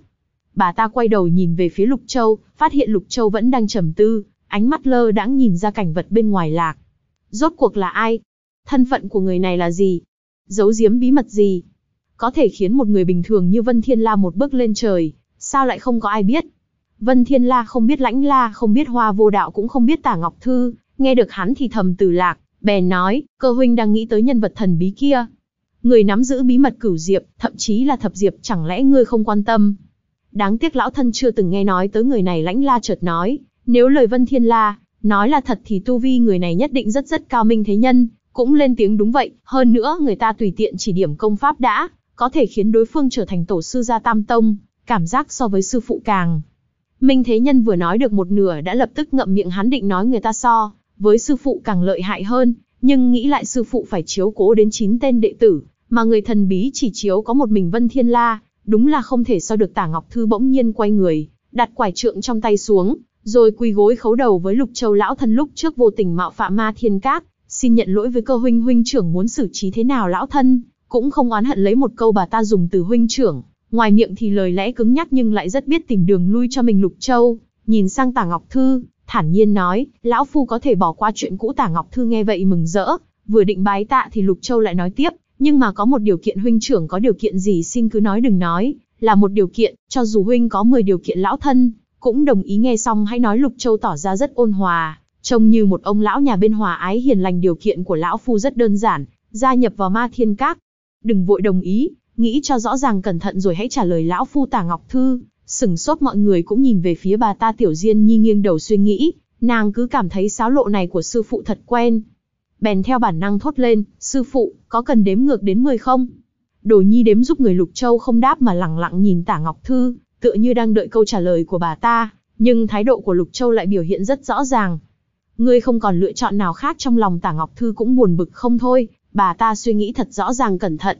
Mà Lộ Bình đứng một bên ước ao ngưỡng mộ, tới mức muốn chảy nước mắt chẳng trách người ta không thèm thu nhận mình, nhìn lại mình xem, rồi lại nhìn tả tiền bối tu vi bậc nào so với tả tiền bối. Lộ Bình hắn chỉ là một hạt vừng trong kẽ đất suy nghĩ một lát, tả Ngọc Thư trả lời, được tinh, thu hoạch được một bộ hạ, ban thưởng 1.000 điểm công đức tiếng hệ thống thông báo vang lên có lúc Lục Châu cũng nghĩ, nếu thu bộ hạ được thêm điểm công đức, vậy sao hắn không mở rộng lực lượng Kim Đình Sơn, thu nhận thêm một đống người. Dù sao người trên Kim Đình Sơn cũng hơi ít, may nhờ có đám nữ đệ tử xuất thân diễn Nguyệt Cung, quản lý chuyện thường ngày nên mới miễn cưỡng đủ Lục Châu, chỉ sợ điểm công đức ban thưởng quá thấp, lại còn phải nuôi sống bọn họ, vậy thì không có lời không thể vì một chút điểm công đức nhất thời, mà biến ma thiên cát, Thành viện dưỡng lão được đứng lên rồi nói Lục Châu nhẹ giọng tả Ngọc Thư, đứng lên lãnh la chắp tay với bà ta một cái xem như, chào hỏi hoa vô đạo vẫn lịch sự hơn chào tả trưởng lão Lục Châu nói, mấy năm nay ngươi ẩn cư trong hẻm núi, không hiểu nhiều về chuyện bên ngoài, với tu vi bát diệp của ngươi sao lại chọn ẩn cư nơi thâm sơn cùng cốc. Nghĩ lại, tả Ngọc Thư cũng được xem là truyền kỳ một thời tả Ngọc Thư, lắc đầu thở dài chuyện cũ không hay, quả thật không muốn nhớ lại ngươi đã gia nhập ma thiên các thì lão phu phải. Nói trước một điều Lục Châu, nói huynh trưởng cứ việc phân phó bản tọa vốn không có ý nhằm vào hoàng thất đại viêm, thế nhưng hoàng thất lại năm lần bảy lượt khiêu khích ma thiên các nho, môn có rất nhiều cao thủ ẩn thân trong thần đô, không ít người quyền cao chức trọng đến lúc đó. Ma thiên các không thể tha cho người vì tình riêng mà làm hỏng việc Trung Lục Châu, nhàn nhạt nói tả Ngọc Thư nghe vậy cả kinh đa số các cao thủ tu hành của nho môn đều giữ chức quan trong triều, đây là chuyện mà ai cũng biết từ trước đến nay hoàng thất là thế lực mạnh nhất trong quốc thổ, nếu không sao có thể giữ gìn hòa bình cho đại viêm sao, đột nhiên ma thiên các và thần đô lại trở mặt thành thù. Tả Ngọc Thư cảm giác như mình vừa bị người ta hố, nhưng nghĩ lại có cửu diệp làm chỗ dựa nên trong lòng, cũng thấy thoải mái hơn cùng lúc đó, tại ma thiên các ngu thượng nhung, Vân Đạm Phong khinh đứng trước cửa động diện bích đám nữ đệ tử, Phan Trọng và Chu Kỳ Phong đều đứng gần đó, nhìn hắn bằng ánh mắt tràn đầy sùng bái kiếm ma, trở về khiến bọn họ xúc động không thôi tu hành giới đều cho rằng, nhị sư huynh bị trọng thương, thậm chí là tử vong trong động truyền tới giọng nói tư vô nhai ngu thượng nhung, cười nhạt một tiếng lời đồn đãi mà thôi, đừng xem là thật nhị sư huynh, huynh có biết chuyện sư phụ đã đột phá cửu diệp chưa? Tư vô nhai hỏi đã biết ngu thượng nhung đáp rất nhẹ nhàng huynh không lo lắng. Lo lắng. Ngu thượng nhung liếc mắt nhìn hắn kẻ nên lo lắng là địch nhân tư vô nhai, nhất thời nghẹn lời trầm mặc một lát, hắn lại cất tiếng ta lo lắng cho đại sư huynh ngu thượng nhung nhíu mày đáp, gieo gió gặt bão thôi đại sư huynh. Thật sự đệ, ta rất tán thưởng đệ nếu không phải vì nể mặt đệ, thì trong trận chiến ở Vân Chiếu, lầm địa ta đã dốc toàn lực ứng phó ngu thượng nhung, nói Tư vô nhai bất đắc dĩ lắc đầu hắn thật không thể hiểu nổi tại sao đại sư huynh, và nhị sư huynh cứ xem nhau như, đối thủ một mất một còn vấn đề là hai người nào có huyết hải thâm cừu gì, cho cam. Cho dù có cũng chỉ là một chút mâu thuẫn, đồng môn với nhau nếu có mâu thuẫn thì đánh một trận chẳng phải là xong hết. Nhị sư huynh nói rất đúng tư vô nhai, nói hiểu được thì tốt đệ ngoan ngoãn ở trong động diện bích hối lỗi đi, chuyện của đại sư huynh ta tự có phân tắc tư vô nhai cảm giác được ngu thượng nhung, sắp rời đi, bèn vội nói, nhị sư huynh ngu thượng nhung dừng bước sư phụ đã lấy đi một bản nhật ký của ta, nếu có cơ hội, nhị sư huynh hãy đọc thử nhé. Được ngu thượng nhung trả lời rất thẳng thắn và dứt khoát, sau đó xoay người đi về nam các chiêu nguyệt đột nhiên xuất hiện, trên mặt có vẻ lo lắng, nàng nhìn trái nhìn phải, thấy được ngu thượng nhung, liền chạy tới nghênh đón hắn. Nhị sư huynh có chuyện gì mà lo lắng như thế.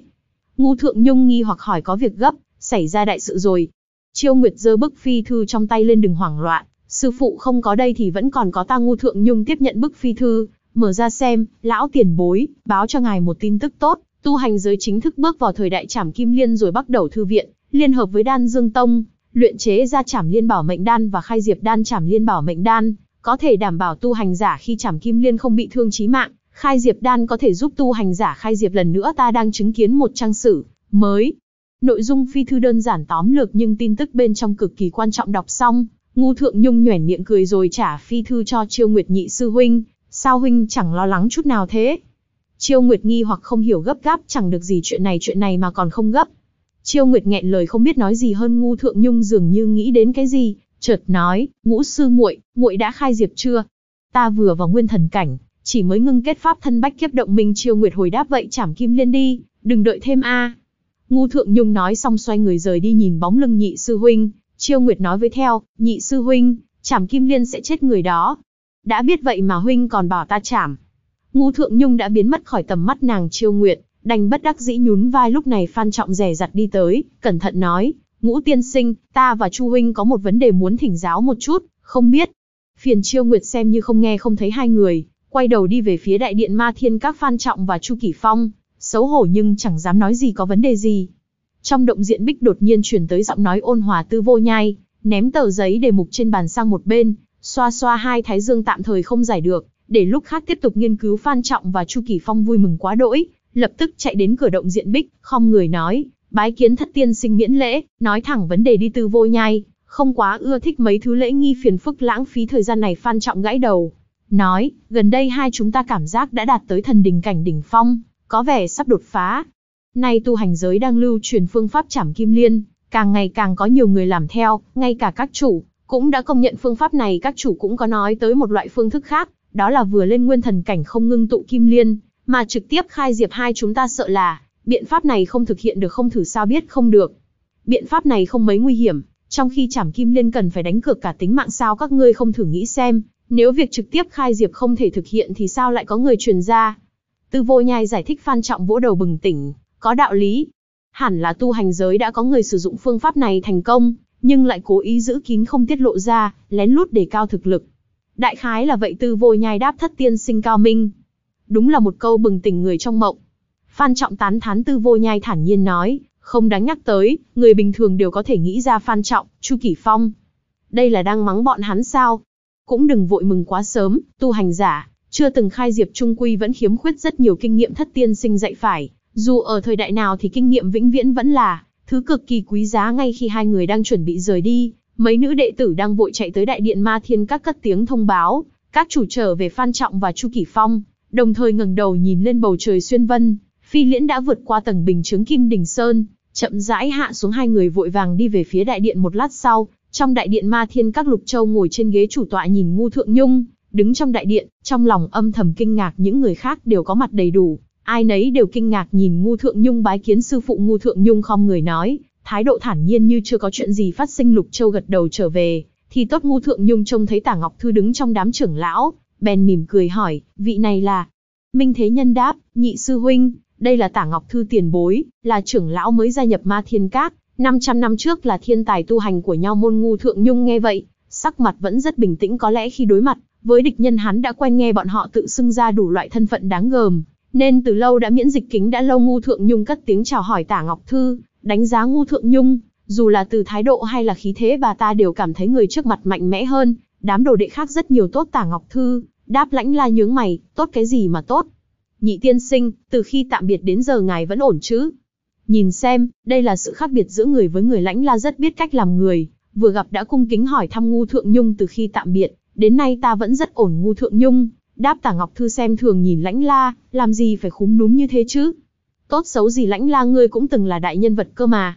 Lãnh la đi đến bên người tả ngọc thư, hạ giọng nói, nhị tiên sinh ma thiên các là bát diệp viên mãn trái tim tả ngọc thư run lên, Cặp mắt già nua chừng lớn, bà ta lập tức cúi người hành lễ, với ngu thượng nhung lão thân không cố ý mạo phạm ngu thượng nhung không ngại, khoát tay nói, trưởng lão không cần để ý, theo lễ tiết, vẫn là ta nên hành lễ với bà không dám không dám.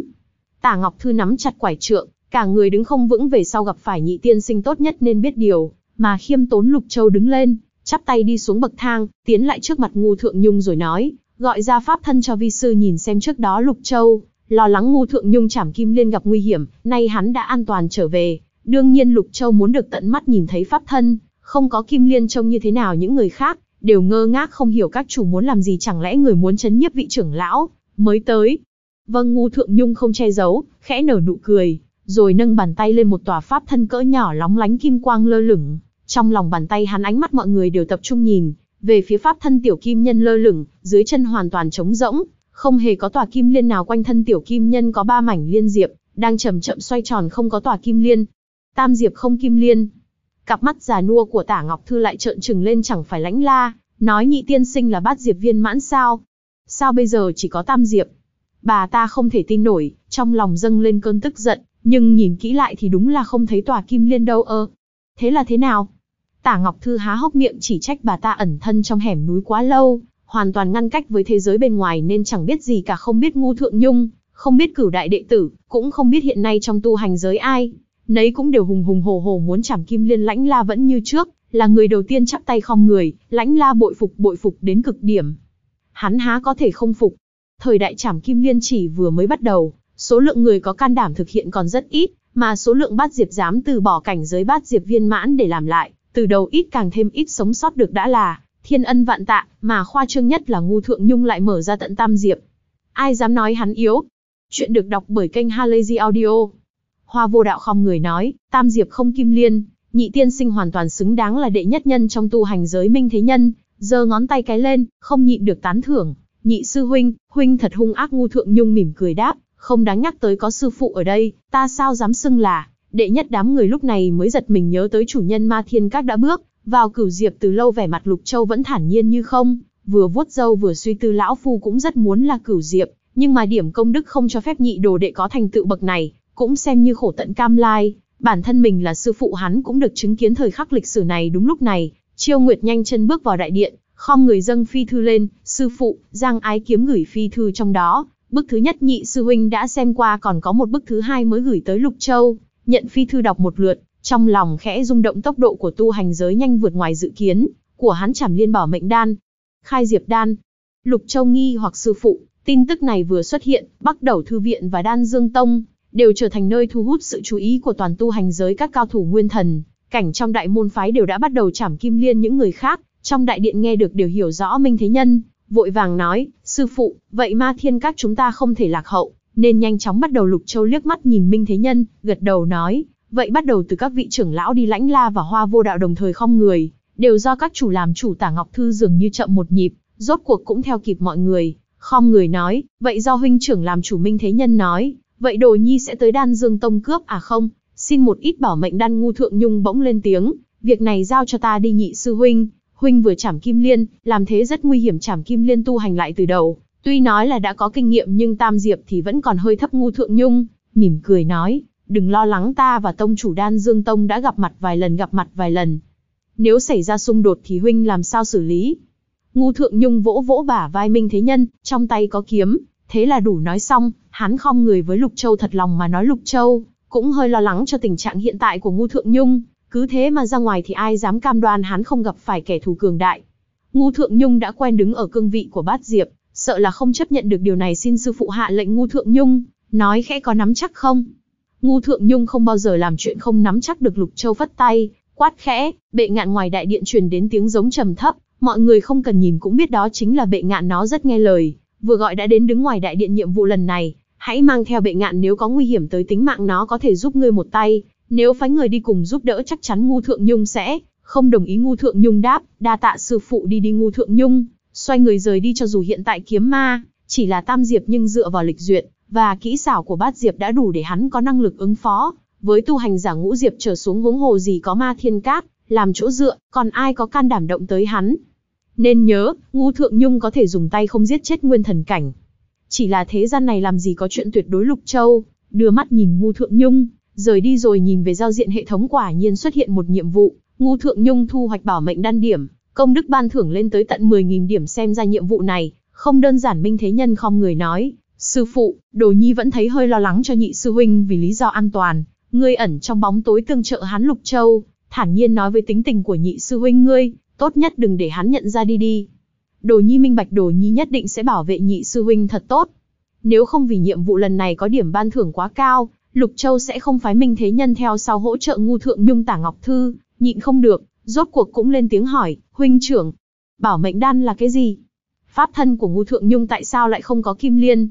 Lãnh la khoát tay nói, tả trưởng lão, theo ta ra ngoài, ta nói cho bà biết tin tức của bà bế tắc quá lâu làm phiền lãnh trưởng. Lão rồi lão thân thật hổ thẹn tả ngọc thư, theo sát phía sau lãnh la toàn bộ ngạo khí, của tả ngọc thư đã biến mất không còn sót lại chút nào tân nhân, nên tự có giác ngộ của tân nhân chiêu nguyệt lục châu, gọi một tiếng có đồ nhi gửi phi thư cho Giang Ái Kiếm và Kỳ Vương Tần Quân, bảo bọn hắn vận dụng toàn bộ lực lượng để tìm một nữ tử họ lạc nữ tử này, 300 năm trước từng xuất hiện, trợ giúp Vân Thiên La trở thành tổ sư gia Tam Tông Lục Châu nói Chiêu Nguyệt vội đáp, đồ nhi tuân mệnh sau khi Chiêu Nguyệt rời đi, trong đầu Lục Châu lại nghĩ tới tư vô nhai việc, tìm người chẳng khác nào mò kim đáy biển nếu có thể vận dụng lực lượng ám võng của nghiệt đồ thì hy vọng sẽ cao hơn một chút cùng lúc đó. Sự ra đời của bảo mệnh đan do bắt đầu thư viện và đan dương tông, luyện chế ra đã khiến cả tu hành giới oanh động rất nhiều tu hành giả tìm, đến hai đại tông môn này, để đổi đan dược, thậm chí không tiếc đem ra bảo bối ngàn vàng, để đổi lấy bảo mệnh đan đan dược luyện chế ra chưa đạo bao lâu, tên còn chưa đặt đã được người người gọi là bảo mệnh đan,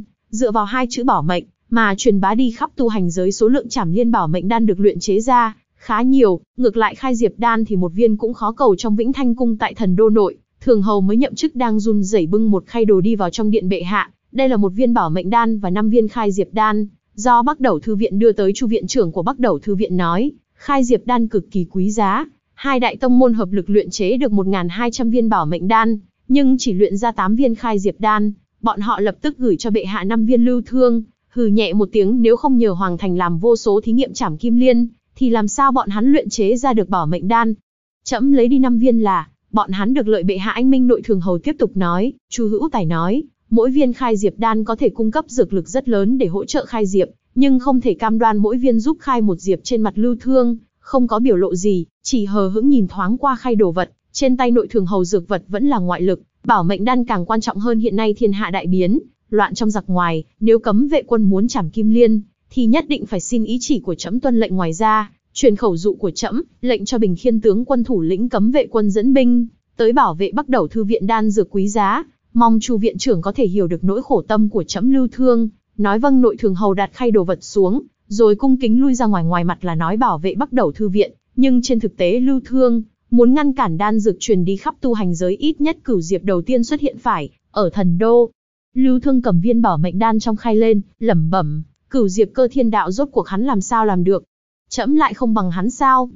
Từ khi nghe được tin tức cơ thiên đạo đã vào cửu diệp, khoảng thời gian này Lưu Thương ăn không ngon ngủ không yên, cả ngày lẫn đêm đều ngó chừng đốc thúc bắt đầu thư viện, nhanh chóng luyện chế đan được nay đan dược đã thành. Lưu Thương lại lần nữa nhìn thấy hy vọng trong thập tuyệt trận, chỉ cần chậm không đi ra, thì cơ lão ma và Vu Chính Hải đều không làm gì được chậm Lưu Thương, không hề do dự ném viên đan dược vào miệng dược lực tan ra, đan điền khí hải lập tức nóng rát lên, như đang bị hỏa diễm thiêu đốt Lưu Thương nhất tay lên, trầm giọng gọi, phán quan bút. Cây bút lông nằm trên bàn ở đằng xa đột nhiên tỏa ra kim quang, phát ra âm thanh ông ông cộng hưởng rồi bay vào tay Lưu Thương ông.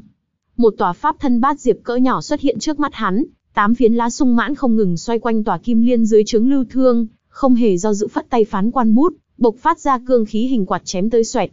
Kim quang trên thân phán quan bút lập tức trở nên mở nhạt Lưu Thương buông tay, phán quan bút bay về nằm im, trên nghiên mực kim liên bị chém đứt rời khỏi pháp thân chậm rãi rơi xuống đất, rồi biến mất không thấy gì nữa pháp, thân bên trên sau khi mất đi kim liên lập tức giảm mạnh tu vi, từ bát diệp biến thành thất diệp, rồi lục diệp, nguyên khí không ngừng tiêu tán, cho đến khi pháp thân biến mất rốt cuộc quay về con số không lưu thương cảm giác được, trong đan điền khí hải truyền đến một luồng lực lượng cực nóng, lực lượng này thúc đẩy đan điền khí hải hấp thu pháp thân vừa tiêu tán kia pháp thân, lại hiện ra đầu tóc lưu thương, tràn đầy mồ hôi hắn ngồi xếp bằng, cảm nhận dược hiệu của đan dược, trên mặt ánh lên vẻ sung sướng bao nhiêu năm nay không ngừng thử nghiệm, rốt cuộc cũng được đền đáp nguyên khí rối loạn dần dần bình phục, Lưu Thương nở nụ cười, nhắm mắt lại hạ lệnh, người đâu một tên nội thường hầu khác, từ ngoài điện đi vào bệ hạ mấy ngày tới chậm bế quan tu hành tuân lệnh điều này, cũng có nghĩa là, nếu không có chuyện gì đặc biệt quan, trọng thì không cần bẩm tấu tên nội thường hầu, cũng không suy nghĩ gì nhiều từ khi bệ hạ đăng cơ vốn đã không màng đến chính sự, mọi sự vụ cơ bản trong triều đều do thừa tướng và văn võ bá quan xử lý trong mắt lưu thương, chỉ cần nắm giữ cấm vệ quân và thống soái tam quân trong tay, lại sở hữu thần đô, thì hắn ở vào thế bất bại thế nhưng cửu diệp lại hoành không xuất thế. Nếu lưu thương hắn không nhanh chóng trở thành cửu diệp thì sớm muộn gì thần đô, cũng sẽ thuộc về tay người khác cho dù ma thiên các không xuất hiện cửu diệp, thì phương pháp chảm kim liên cũng đã lan truyền khắp tu hành giới. Tất nhiên những tông môn khác cũng không ngừng gia tăng thực lực hắn là vua của một nước, nhất định phải đứng ở vị trí cao nhất trong đông các lục châu. Xác nhận bản đồ ra dê cổ không có thay đổi gì, bèn trở về ngồi xếp bằng trên bồ đoàn, mở giao diện hệ thống lên họ tên, Lục Châu chủng tộc, nhân tộc tu vi, nguyên thần cảnh đạo nguyên điểm công đức, 21.000 điểm pháp thân, bách kiếp động minh nhất diệp tuổi thọ còn lại, 12.750 ngày đạo cụ, một kích trí mạng x2, đỡ đòn trí mạng x62, lồng giam trói buộc x4, bạch trạch, bệ ngạn, tuyệt địa liệu thương x2, lồng giam trói buộc phiên bản cường hóa x2, tuyệt địa liệu thương phiên bản cường hóa x2, lôi cương x1, thẻ ngụy trang x4, thẻ nghịch chuyển x53 vũ khí, vị danh, trảm mệnh đao, ngọc phất trần, khổng tước linh công pháp, tam quyển thiên thư 1, chuyến đi tới Tam Tông đã thu hoạch được hơn 20.000 điểm công đức, điều này là niềm vui, ngoài y muốn đối với Lục Châu đương nhiên hầu hết điểm công đức đều đến, từ việc đệ tử Tam Tông đồng loạt lễ bái, đáng tiếc là việc lễ bái có hạn chế, nếu không Lục Châu, có thể đi khắp nơi uy hiếp các đại tông môn bắt bọn hắn phải lễ bái mình Lục Châu, rút thưởng thêm 10 lần, toàn bộ đều là cảm ơn ký chủ đã tham gia trò chơi. Sau đó hắn mới ngoan ngoãn tập trung tinh thần lĩnh ngộ thiên thư lục châu, chợt chú ý thấy số lượng thẻ nghịch chuyển đã lên tới 53 tấm này ngoại giới, đã tin lục châu là cửu diệp, thời điểm hiện tại rất thích hợp để sử dụng một ít thẻ nghịch chuyển lục châu, không do dự dùng luôn 10 tấm năng lượng sinh cơ bốn phía bắt đầu hội tụ, sinh cơ rung động, như đang nổi lên cuồng phong lục châu cảm giác được động tĩnh lần này, lớn hơn những lần trước rất nhiều khi sinh cơ tiến vào cơ thể giả cỗi của lục châu, có một chút dao động và bài xích xuất hiện, nhưng rất nhanh đã bị dung nhập hoàn toàn Lục Châu lại mở giao diện thọ mệnh lên. Tuổi thọ còn lại, 16.750 ngày một tấm tăng 400 ngày. Đây chính là nguyên nhân gây ra sự dao động và bài xích trong cơ thể hắn. Số lượng tuổi thọ gia tăng nằm ngoài dự liệu của Lục Châu nếu vậy sau này, hắn phải tồn trữ thật nhiều thẻ nghịch chuyển, mới được. Ôm một đống thẻ ngồi chờ tăng giá nha. Lục Châu không nghĩ nhiều nữa, nhắm mắt lại tiếp tục lĩnh hội thiên thư trong quảng trường Nam Các, lãnh la tường thuật lại những chuyện phát sinh trong tu hành giới dạo gần đây cho Tả Ngọc Thư, nghe Tả Ngọc Thư, âm thầm líu lưỡi vừa rồi cái người trông rất khiêm tốn hữu lễ kia chính là, cao thủ kiếm đạo đương thời kiếm ma. Đúng vậy đừng quá lo lắng, nhị tiên sinh là người rất thẳng thắn, đối xử với mọi người ôn hòa lễ độ, không phải là loại tiểu nhân lòng dạ hẹp hòi đâu lãnh la, nói năm đó lão thân ẩn cư trong hẻm núi, cũng nghe được một số tin tức vụn vặt, về tu hành giới từ miệng đệ tử chấn thương học phái, cũng đã từng nghe danh kiếm ma danh chấn thiên hạ danh sách tử vong nằm trong tay hắn, quấy đến mức thiên hạ đại loạn tả ngọc thư, quay sang nhìn lãnh la đa tạ lãnh trưởng lão chỉ giáo khách khí rồi lúc này, bên đông các chợt truyền tới âm thanh nguyên khí rung động kịch liệt lãnh la vội vàng nói, đừng để ý tới, tuyệt đối đừng tới đông các nói xong hắn quay người rời đi tả ngọc thư, gật đầu nhìn về phía đông các lòng hiếu kỳ hại chết mèo,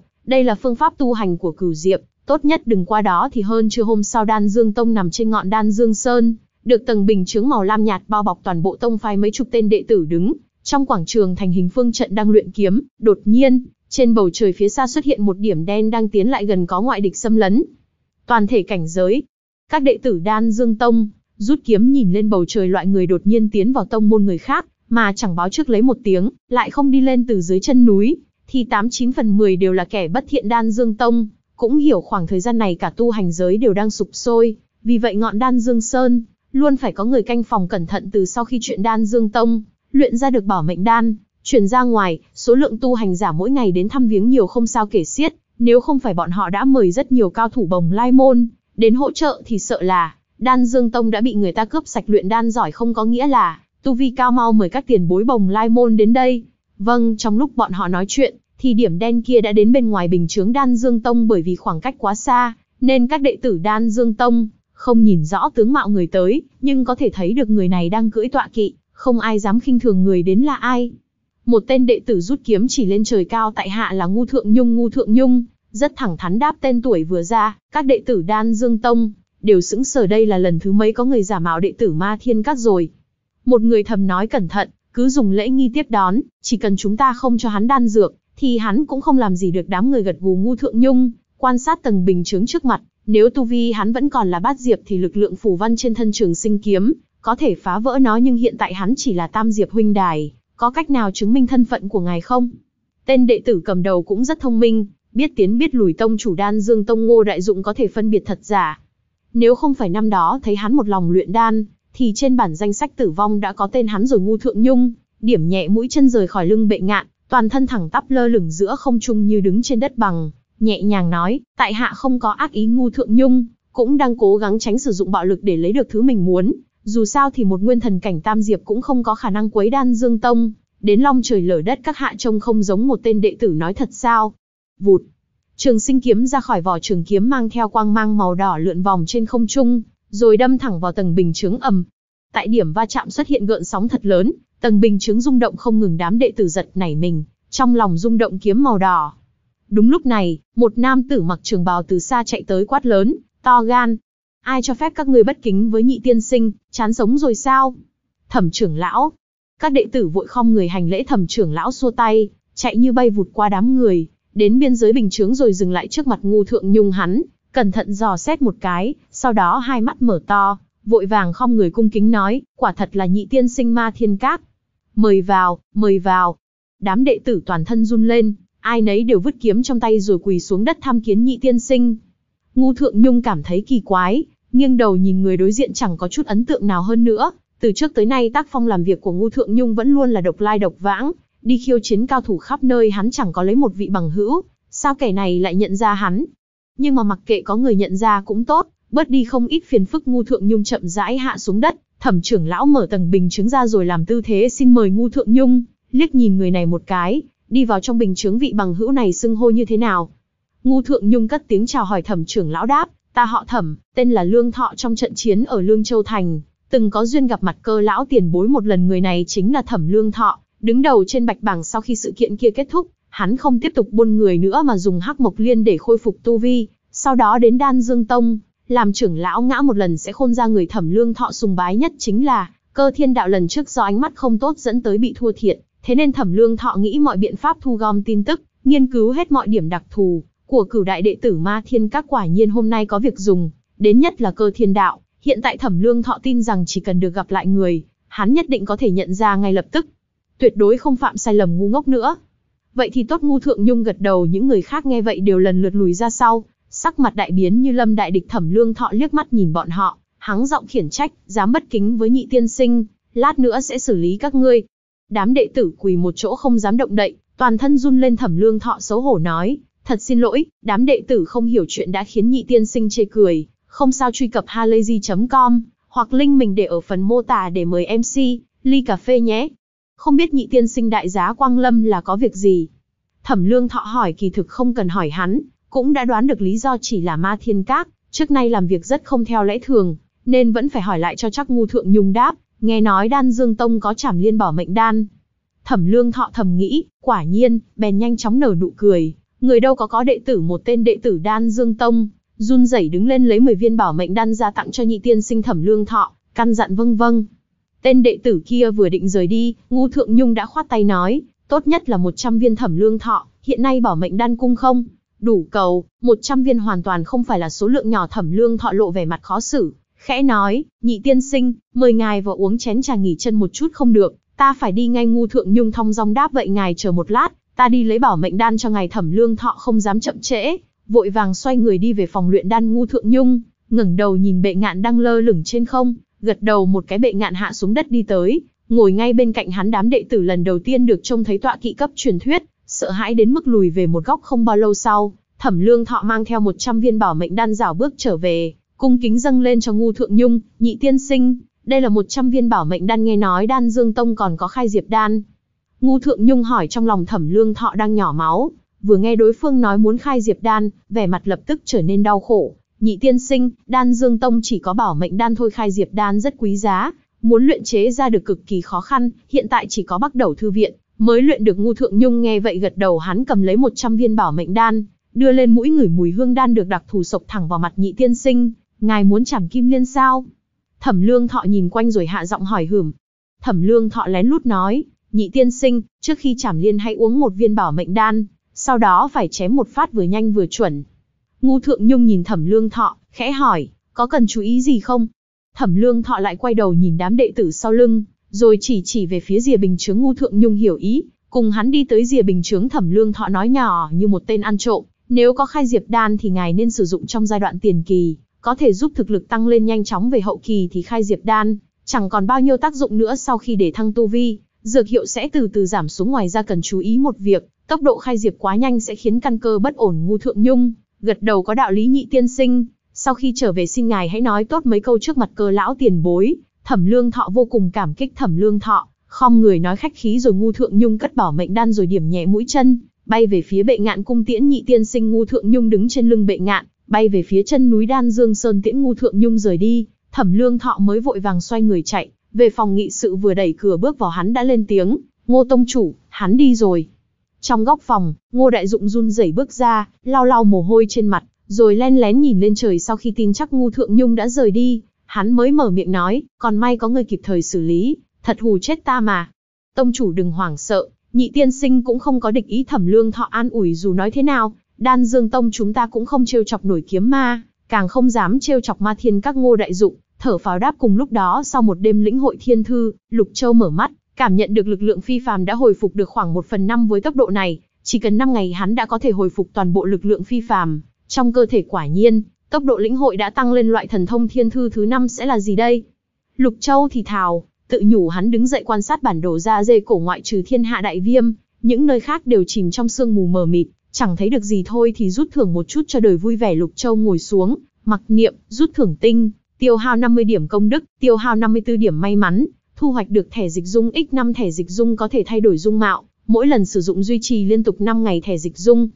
Lục Châu nghi hoặc nhìn tấm thẻ đạo cụ mới xuất hiện hiện tại hệ thống, đều hố người chơi như vậy sao? Động một chút là quăng ra mấy tấm thẻ gân gà cùi bắp. Thẻ dịch dung thì có ích lợi gì? Hiện tại dung mạo Lục Châu đã thay đổi rất nhiều so, với lúc mới xuyên không tới thẻ đạo cụ càng lúc càng vớ vẩn. Sư phụ, từ vô nhai cầu kiến ngoài viện truyền tới giọng nói của Chiêu Nguyệt có chuyện gì? Hắn bảo đã nghĩ ra chuyện về thủy tinh cầu ký ức đưa nó tới đây vâng.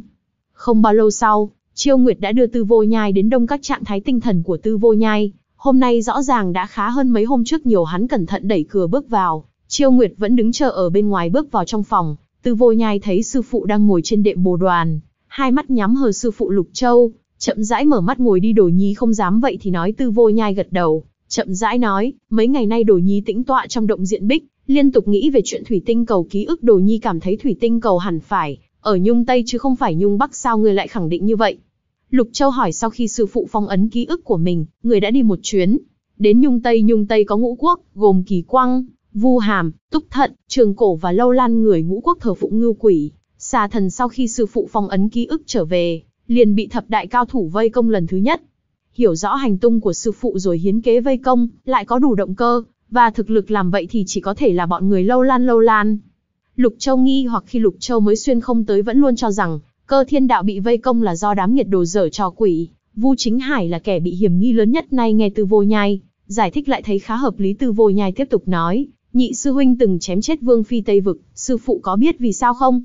Lục Châu nhíu mày nhìn hắn, biểu tình như muốn nói, nghiệt đồ, ngươi còn dám ra vẻ ta đây với sư phụ. Từ vô nhai bị dọa sợ, vội vàng giải thích, à vương phi kia vốn là đại vu, cả gan ngấp nghé muốn khống chế nhị sư huynh nhị sư huynh sao có thể, để à lừa gạt, lập tức vung kiếm chém chết ả sau đó hoàng thất vì muốn tiếp tục thông gia với Lâu Lan, nên không thể không đưa Ngọc Phi vào cung. Ngọc Phi là người bình thường, nhưng lại mang theo Mạc Ly tiến cung, muốn nhân cơ hội này phá rối đại viêm thế nhưng... Ma Thiên Các lại là chướng ngại vật lớn nhất. Lục Châu gật đầu ý của ngươi là, kẻ thiết kế hãm hại lão phu chính là người Lâu Lan. Tám chín phần mười là thế tư vô nhai, đáp điều này thì có liên quan gì đến thủy tinh cầu ký ức. Người Lâu Lan biết rõ hành tung của người như vậy, chắc hẳn cũng biết ngài đã đến khu vực nào, ở Nhung Tây nếu có thể tra ra được hành tung năm đó, của sư phụ thì sẽ tìm ra được thủy tinh cầu ký ức nghe vậy. Lục Châu vuốt dầu suy nghĩ nghiệt đồ này nói có lý nhưng mà làm sao tra được đây. Tư vô nhai hình như hiểu ý sư phụ, lại nói tiếp, sư phụ, mấy năm nay đồ nhi có sắp xếp một ít tai mắt lẫn vào dị tộc, đặc biệt là lâu lan Lục Châu lại đưa mắt nhìn về phía hắn, thấy độ trung thành của hắn đã tăng lên so với trước đó, nhưng vẫn không cao sư phụ. Chuyện này chỉ mình đồ nhi làm được giang ái kiếm tuy là tam hoàng tử đại viêm, có nhiều tai mắt nhưng hắn lại biết quá ít về dị tộc huống hồ gì kẻ này, trời sinh tính tình lười biếng chỉ thích tự do, thường không chú ý đến một số tin tức lúc trước Đồ Nhi đã phải mượn danh nghĩa ám võng, không ít lần để thông báo cho Ma Thiên Các rõ ràng Giang Ái Kiếm, cũng có thể làm được nhưng hắn lại không. Người này không đáng tin nói đến đây, Tư Vô Nhai chợt im bặt hắn phát hiện sư phụ đang nhìn mình chằm chằm không chớp mắt, nhìn lâu, tới mức tìm hắn bắt đầu run rẩy Đồ Nhi không có ý lăng mạ Giang Ái Kiếm. Xin sư phụ thứ tội, Tư vô nhai quỳ một gối xuống nói Lục Châu, vuốt dầu gật đầu ngươi có biết tại sao lão phu bắt ngươi ở trong động diện bích, để hối lỗi không? Đồ Nhi biết mình phạm tội phản bội sư môn không thể tha thứ toàn bộ trừng phạt của sư phụ Đồ Nhi đều không có một lời oán hận tư vô nhai, đáp ngươi sai rồi nếu chỉ vì tư vô nhai, rời khỏi sư môn mà trừng phạt hắn thì rất không hợp lý tư vô nhai, vì cứu chư hồng cộng mà quỳ ba ngày ba đêm trước cửa thiên tuyển tự, vì cứu ngu thượng nhung mà chạy đôn chạy đáo khắp đại viêm để tìm phù văn, lại từng cứu mạng vu chính hải, Dựa vào những chuyện này mà Lục Châu, còn trách móc hắn thì đúng là đang tự mình lừa mình Lục Châu thản nhiên nói, ngươi rất giống ngu thượng nhung, đều mang theo ngạo khí không cần thiết ngạo khí. Tự tin thì tốt, nhưng tự tin, quá mức sẽ biến thành tự phụ ngạo khí thường sẽ che đi cặp mắt ngươi tư vô nhai, ngây ngẩn cả người, trong đầu nhớ lại những tờ đề mục trong động diện bích, mặt hắn dần trở nên bỏng rát hắn tự xưng mình thông minh, tự xưng mình lắm mưu nhiều kế, nhưng đống đề mục kia hắn, lại chẳng cách nào giải nổi sư phụ dạy phải đồ nhi minh bạch tư vô nhai, ủ rũ nói Lục Châu, đứng dậy đi tới chiếc ghế bên cạnh rồi ngồi xuống đến bây giờ, mà ngươi còn không chịu nói ra chuyện của Vu Chính Hải. Toàn thân tư vô nhai, run lên đồ nhi đã hứa với đại sư huynh thấy hắn kiên quyết như vậy, Lục Châu khẽ nhíu mày miệng thì nói đã nghĩ thông suốt, mà thực tế lại chẳng hề làm được sắc mặt Lục Châu trở nên nghiêm túc, trầm giọng nói, nếu ngươi không nói, lão phu sẽ trục xuất ngươi ra khỏi sư môn từ nay về sau, ngươi không còn liên quan gì đến ma thiên các nữa khổng tước linh đây, lão phu trả lại cho ngươi tay phải Lục Châu khẽ nhắc, Khổng Tước Linh xuất hiện, bị Lục Châu ném tới trước mặt Tư Vô Nhai, Tư Vô Nhai, ngây ra như phỗng hai mắt Lục Châu sáng rực nhìn chằm chằm Tư Vô Nhai, chờ đợi câu trả lời của hắn ngươi có thể rời đi sau này gặp lại, nếu ngươi là kẻ địch thì lão phu tuyệt đối sẽ không nương tay Lục Châu, không thèm tin lời hắn cái gì mà hứa với chẳng hẹn. từ Vô Nhai ngươi đến sư môn cũng có thể rời bỏ, mà còn dám nói đã hứa hẹn với Vu Chính Hải. Thật là buồn cười. Tư Vô Nhai nhìn Khổng Tước Linh đến xuất thần, đầu óc hoàn toàn trống rỗng tinh, dạy dỗ tư vô nhai, thu hoạch được 500 điểm công đức lát sau, tư vô nhai quỷ dạp xuống đất nói, đồ nhi có, thể nói ra, nhưng xin sư phụ đồng ý với đồ nhi một chuyện ngươi muốn bàn điều kiện với lão phu. Tư vô nhai vội vàng giải thích, đồ nhi tuyệt đối không có lòng ngỗ nghịch, càng không dám bàn điều kiện với sư phụ người vừa mới nói đấy thôi. Ánh mắt Lục Châu nhìn Tư Vô Nhai tóe lửa chuyện này. Tư Vô Nhai xấu hổ cùng cực toàn bộ tự tin và thong dong vốn có, của hắn đều trở nên cực kỳ hỏng bét, dưới ánh nhìn của sư phụ tâm loạn như ma, lại mất phương hướng. Trong lúc nhất thời Tư Vô Nhai không biết nên nói cái gì Lục Châu, lấy từ trong tay áo ra quyển nhật ký của Tư Vô Nhai, lật xem một lát rồi đặt nó lên bàn trong gian phòng lúc này, vô cùng yên tĩnh hai thầy trò, một người ngồi, một người quỳ yên lặng một lúc lâu, Lục Châu mới mở miệng nói, ngươi cho rằng ngươi không nói thì lão phu sẽ không biết. Tư vô nhai ngẩng đầu nhìn Lục Châu người đã biết.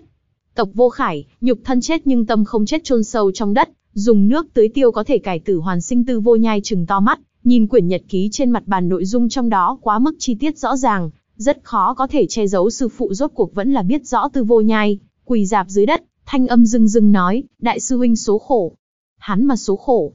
Lục Châu xem thường nói Vu Chính Hải tự tay xây dựng U Minh giáo, đi khắp nơi chiếm đoạt thế lực, thủ hạ, dưới tay có tứ đại hộ pháp dũng mãnh thiện chiến hiện nay toàn bộ thiên hạ đều bị hắn khống chế, ngày ngày ngồi trên phi liễn đi khắp nơi lập uy, công thành đoạt đất hắn khô ở chỗ nào.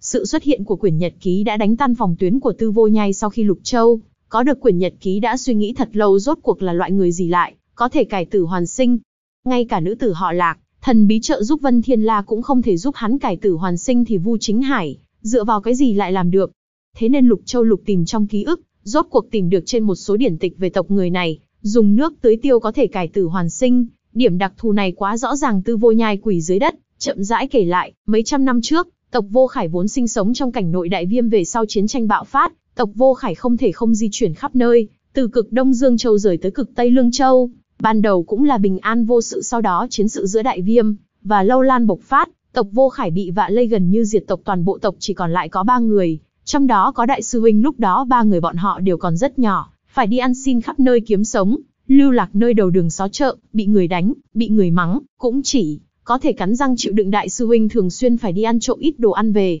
cho hai vị huynh đệ tính tình đại sư huynh bướng bình ương ngạnh, lại rất mạnh miệng, có lúc dù bị mắng bị đánh cũng không chịu cúi đầu. Về điểm này thì Lục Châu rất hiểu tính tình Vu Chính Hải, không thể chỉ dùng hai chữ quật cường để hình dung một khi hắn đã nhận định chuyện gì, thì rất khó có thể thay đổi về sau hai vị huynh đệ bị đánh chết, đại sư huynh bị bọn buôn người bán đi, lưu lạc tới lâu la nói tới đây, tư vô nhai dừng lại một chút, ngẩng đầu nhìn biểu tình của sư phụ, phát hiện sắc mặt người vẫn đạm mạc như trước, không rõ đang suy nghĩ chuyện gì Lục Châu đột nhiên cất tiếng hỏi, tại sao người tộc vô khải chết đi lại có thể phục sinh? Tộc dân vô khải bình thường rất khó có thể làm được điều này, điều kiện vô cùng hà khắc lúc chết đi cần có người bên cạnh chăm sóc hơn nữa. Tộc vô khải chỉ có thể cải tử hoàn sinh ba lần, trong đời mỗi lần tử vong sẽ tổn hao 300 năm tuổi thọ đại sư huynh là bát diệp viên mãn, có ngàn năm tuổi thọ tư vô nhai lại dừng một lúc lục châu vuốt dâu gật đầu, đúng là như thế thật nếu có thể vô hạn tuần hoàn sống lại, thì có khác gì người bất tử đâu. Tiếp tục đi lục châu, gia hiệu đại sư huynh vốn cho là đến lâu lan sẽ được sống tốt hơn, thật không ngờ cuộc đời lại quá mức khắc nghiệt, ngay cả ngủ cũng không thể có một gã vương công quý tộc lâu lan, cực kỳ thù hận đại viêm vì tìm kiếm kích thích, hắn bắt trói đại sư huynh lại, mỗi ngày đều dùng đao khoét thịt cạo xương, liên tục 7 ngày, đại sư huynh chảy máu đến chết. Nói đến đây, bàn tay tư vô nhai nắm chặt thành quyền, các đốt ngón tay trắng bệch có lẽ do trời cao chiếu cố, nên mệnh đại sư huynh chưa tuyệt, xác đại sư huynh bị người ta ném vào trong vũng bùn, mất trọn vẹn 49 ngày mới có thể phục sinh sau khi sống lại, đại sư huynh rời khỏi lâu lan, theo một đội thương nhân trốn trở về đại viêm. Về sau, huynh ấy trở thành đệ tử của người nói xong, tư vô nhai vẫn quỳ dưới đất, nhưng sống lưng thẳng tắp đồ nhi nguyện giúp đại sư huynh lấy, được toàn bộ thiên hạ này trước đây, không hối hận, sau này cũng không hối hận Lục Châu nghe xong câu chuyện, trong lòng cực kỳ phức tạp Vu Chính Hải có thật nhiều cố sự, mà ngu thượng nhung cũng thế bạch dân cũng thế mà quân tử quốc cũng vậy, hay thậm chí là tộc vô khải, tất cả đều có liên quan đến. Thọ mệnh theo lời mấy tên đồ đệ nói thì cơ thiên đạo, muốn lợi dụng đồ đệ để tấn thăng cửu diệp hoặc được trường thọ, nhưng tại sao cơ thiên đạo không làm gì cả? Lẽ ra chín tên đồ đệ đều là vật hy sinh mới phải rốt cuộc chuyện gì đã xảy ra?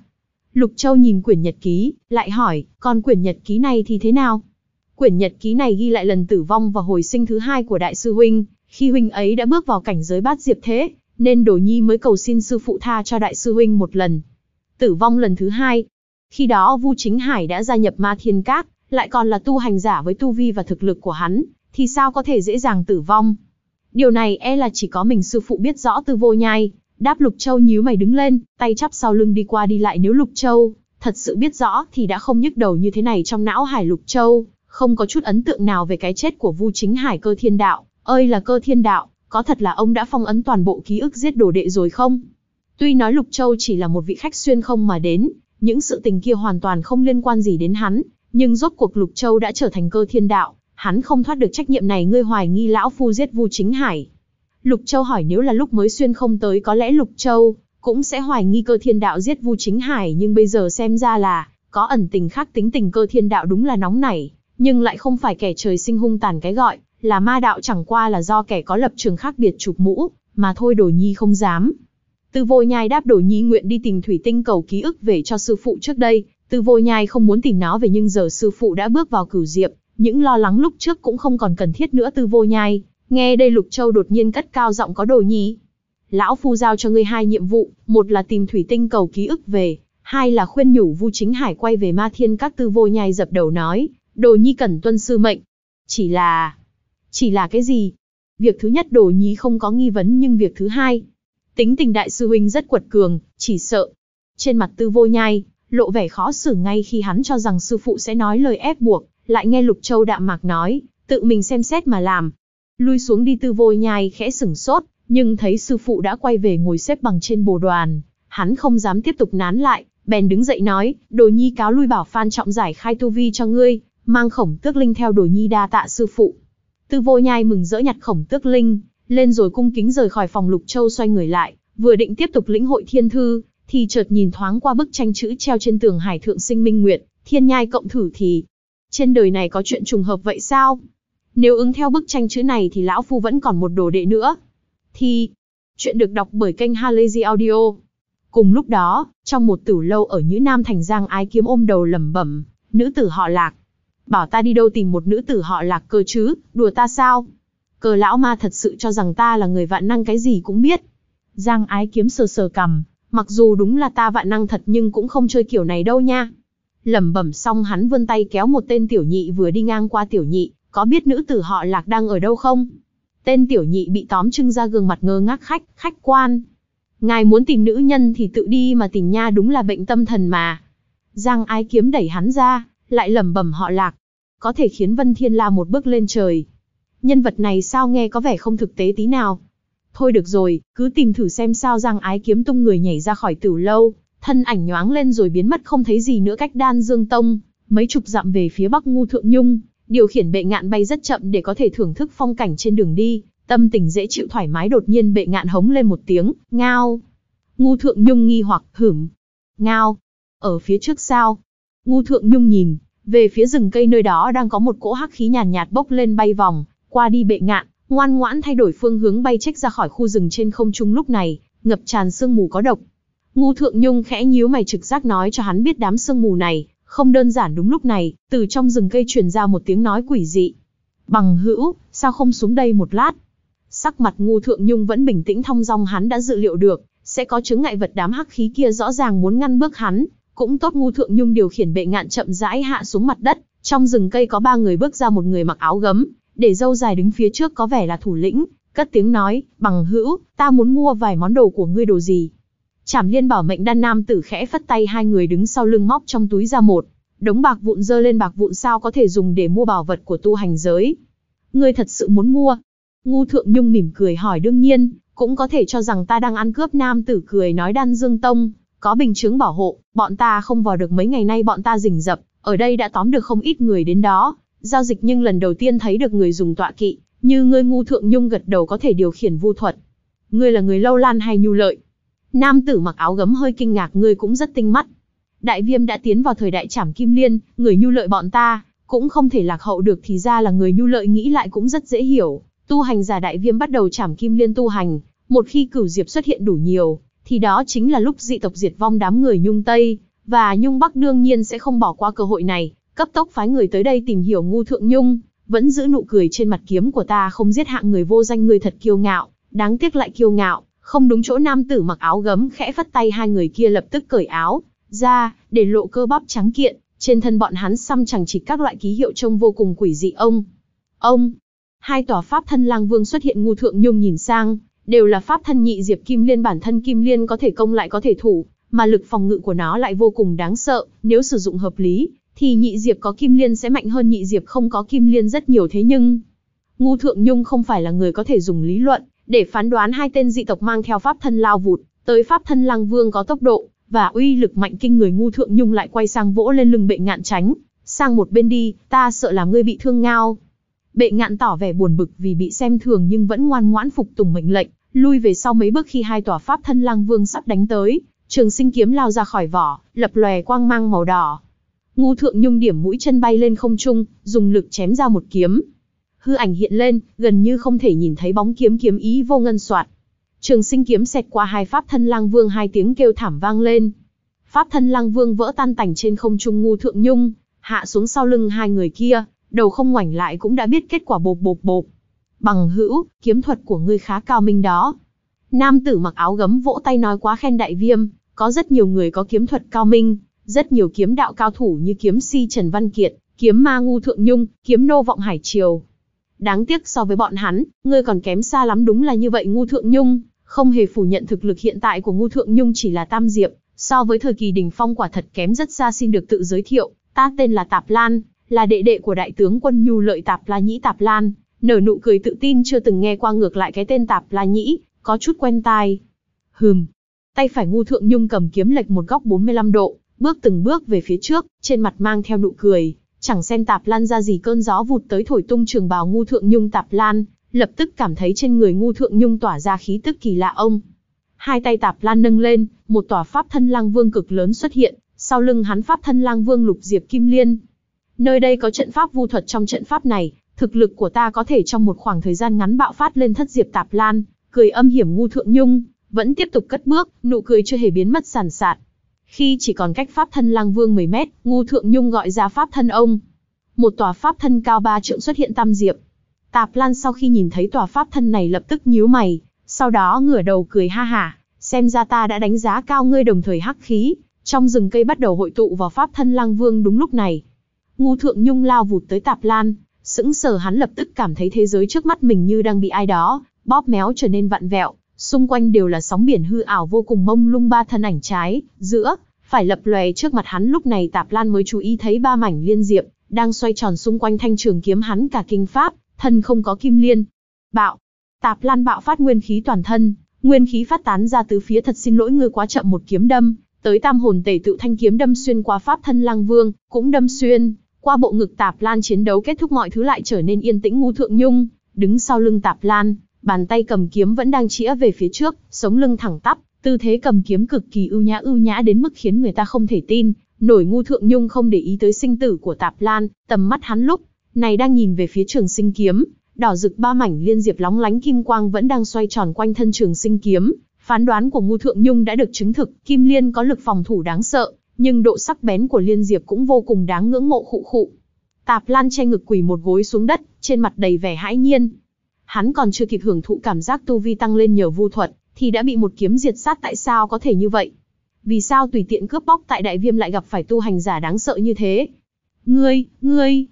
Tạp Lan nói có thể. Cho ta biết. Tên của ngươi. Khi mở miệng nói chuyện, Máu tươi từ miệng hắn cuồn cuộn chảy ra nhiễm đỏ vạt áo để cho ta. Được chết nhắm mắt ngu thượng nhung chậm rãi xoay người lại, không nhìn tạp lan, mà đi lướt qua người hắn nhìn đến hai cỗ thi thể nhị diệp lúc nãy, ngu thượng nhung nâng tay lên, chiếc túi trong người bọn hắn bay tới, tỏa ra mùi thuốc quen thuộc bảo mệnh đan.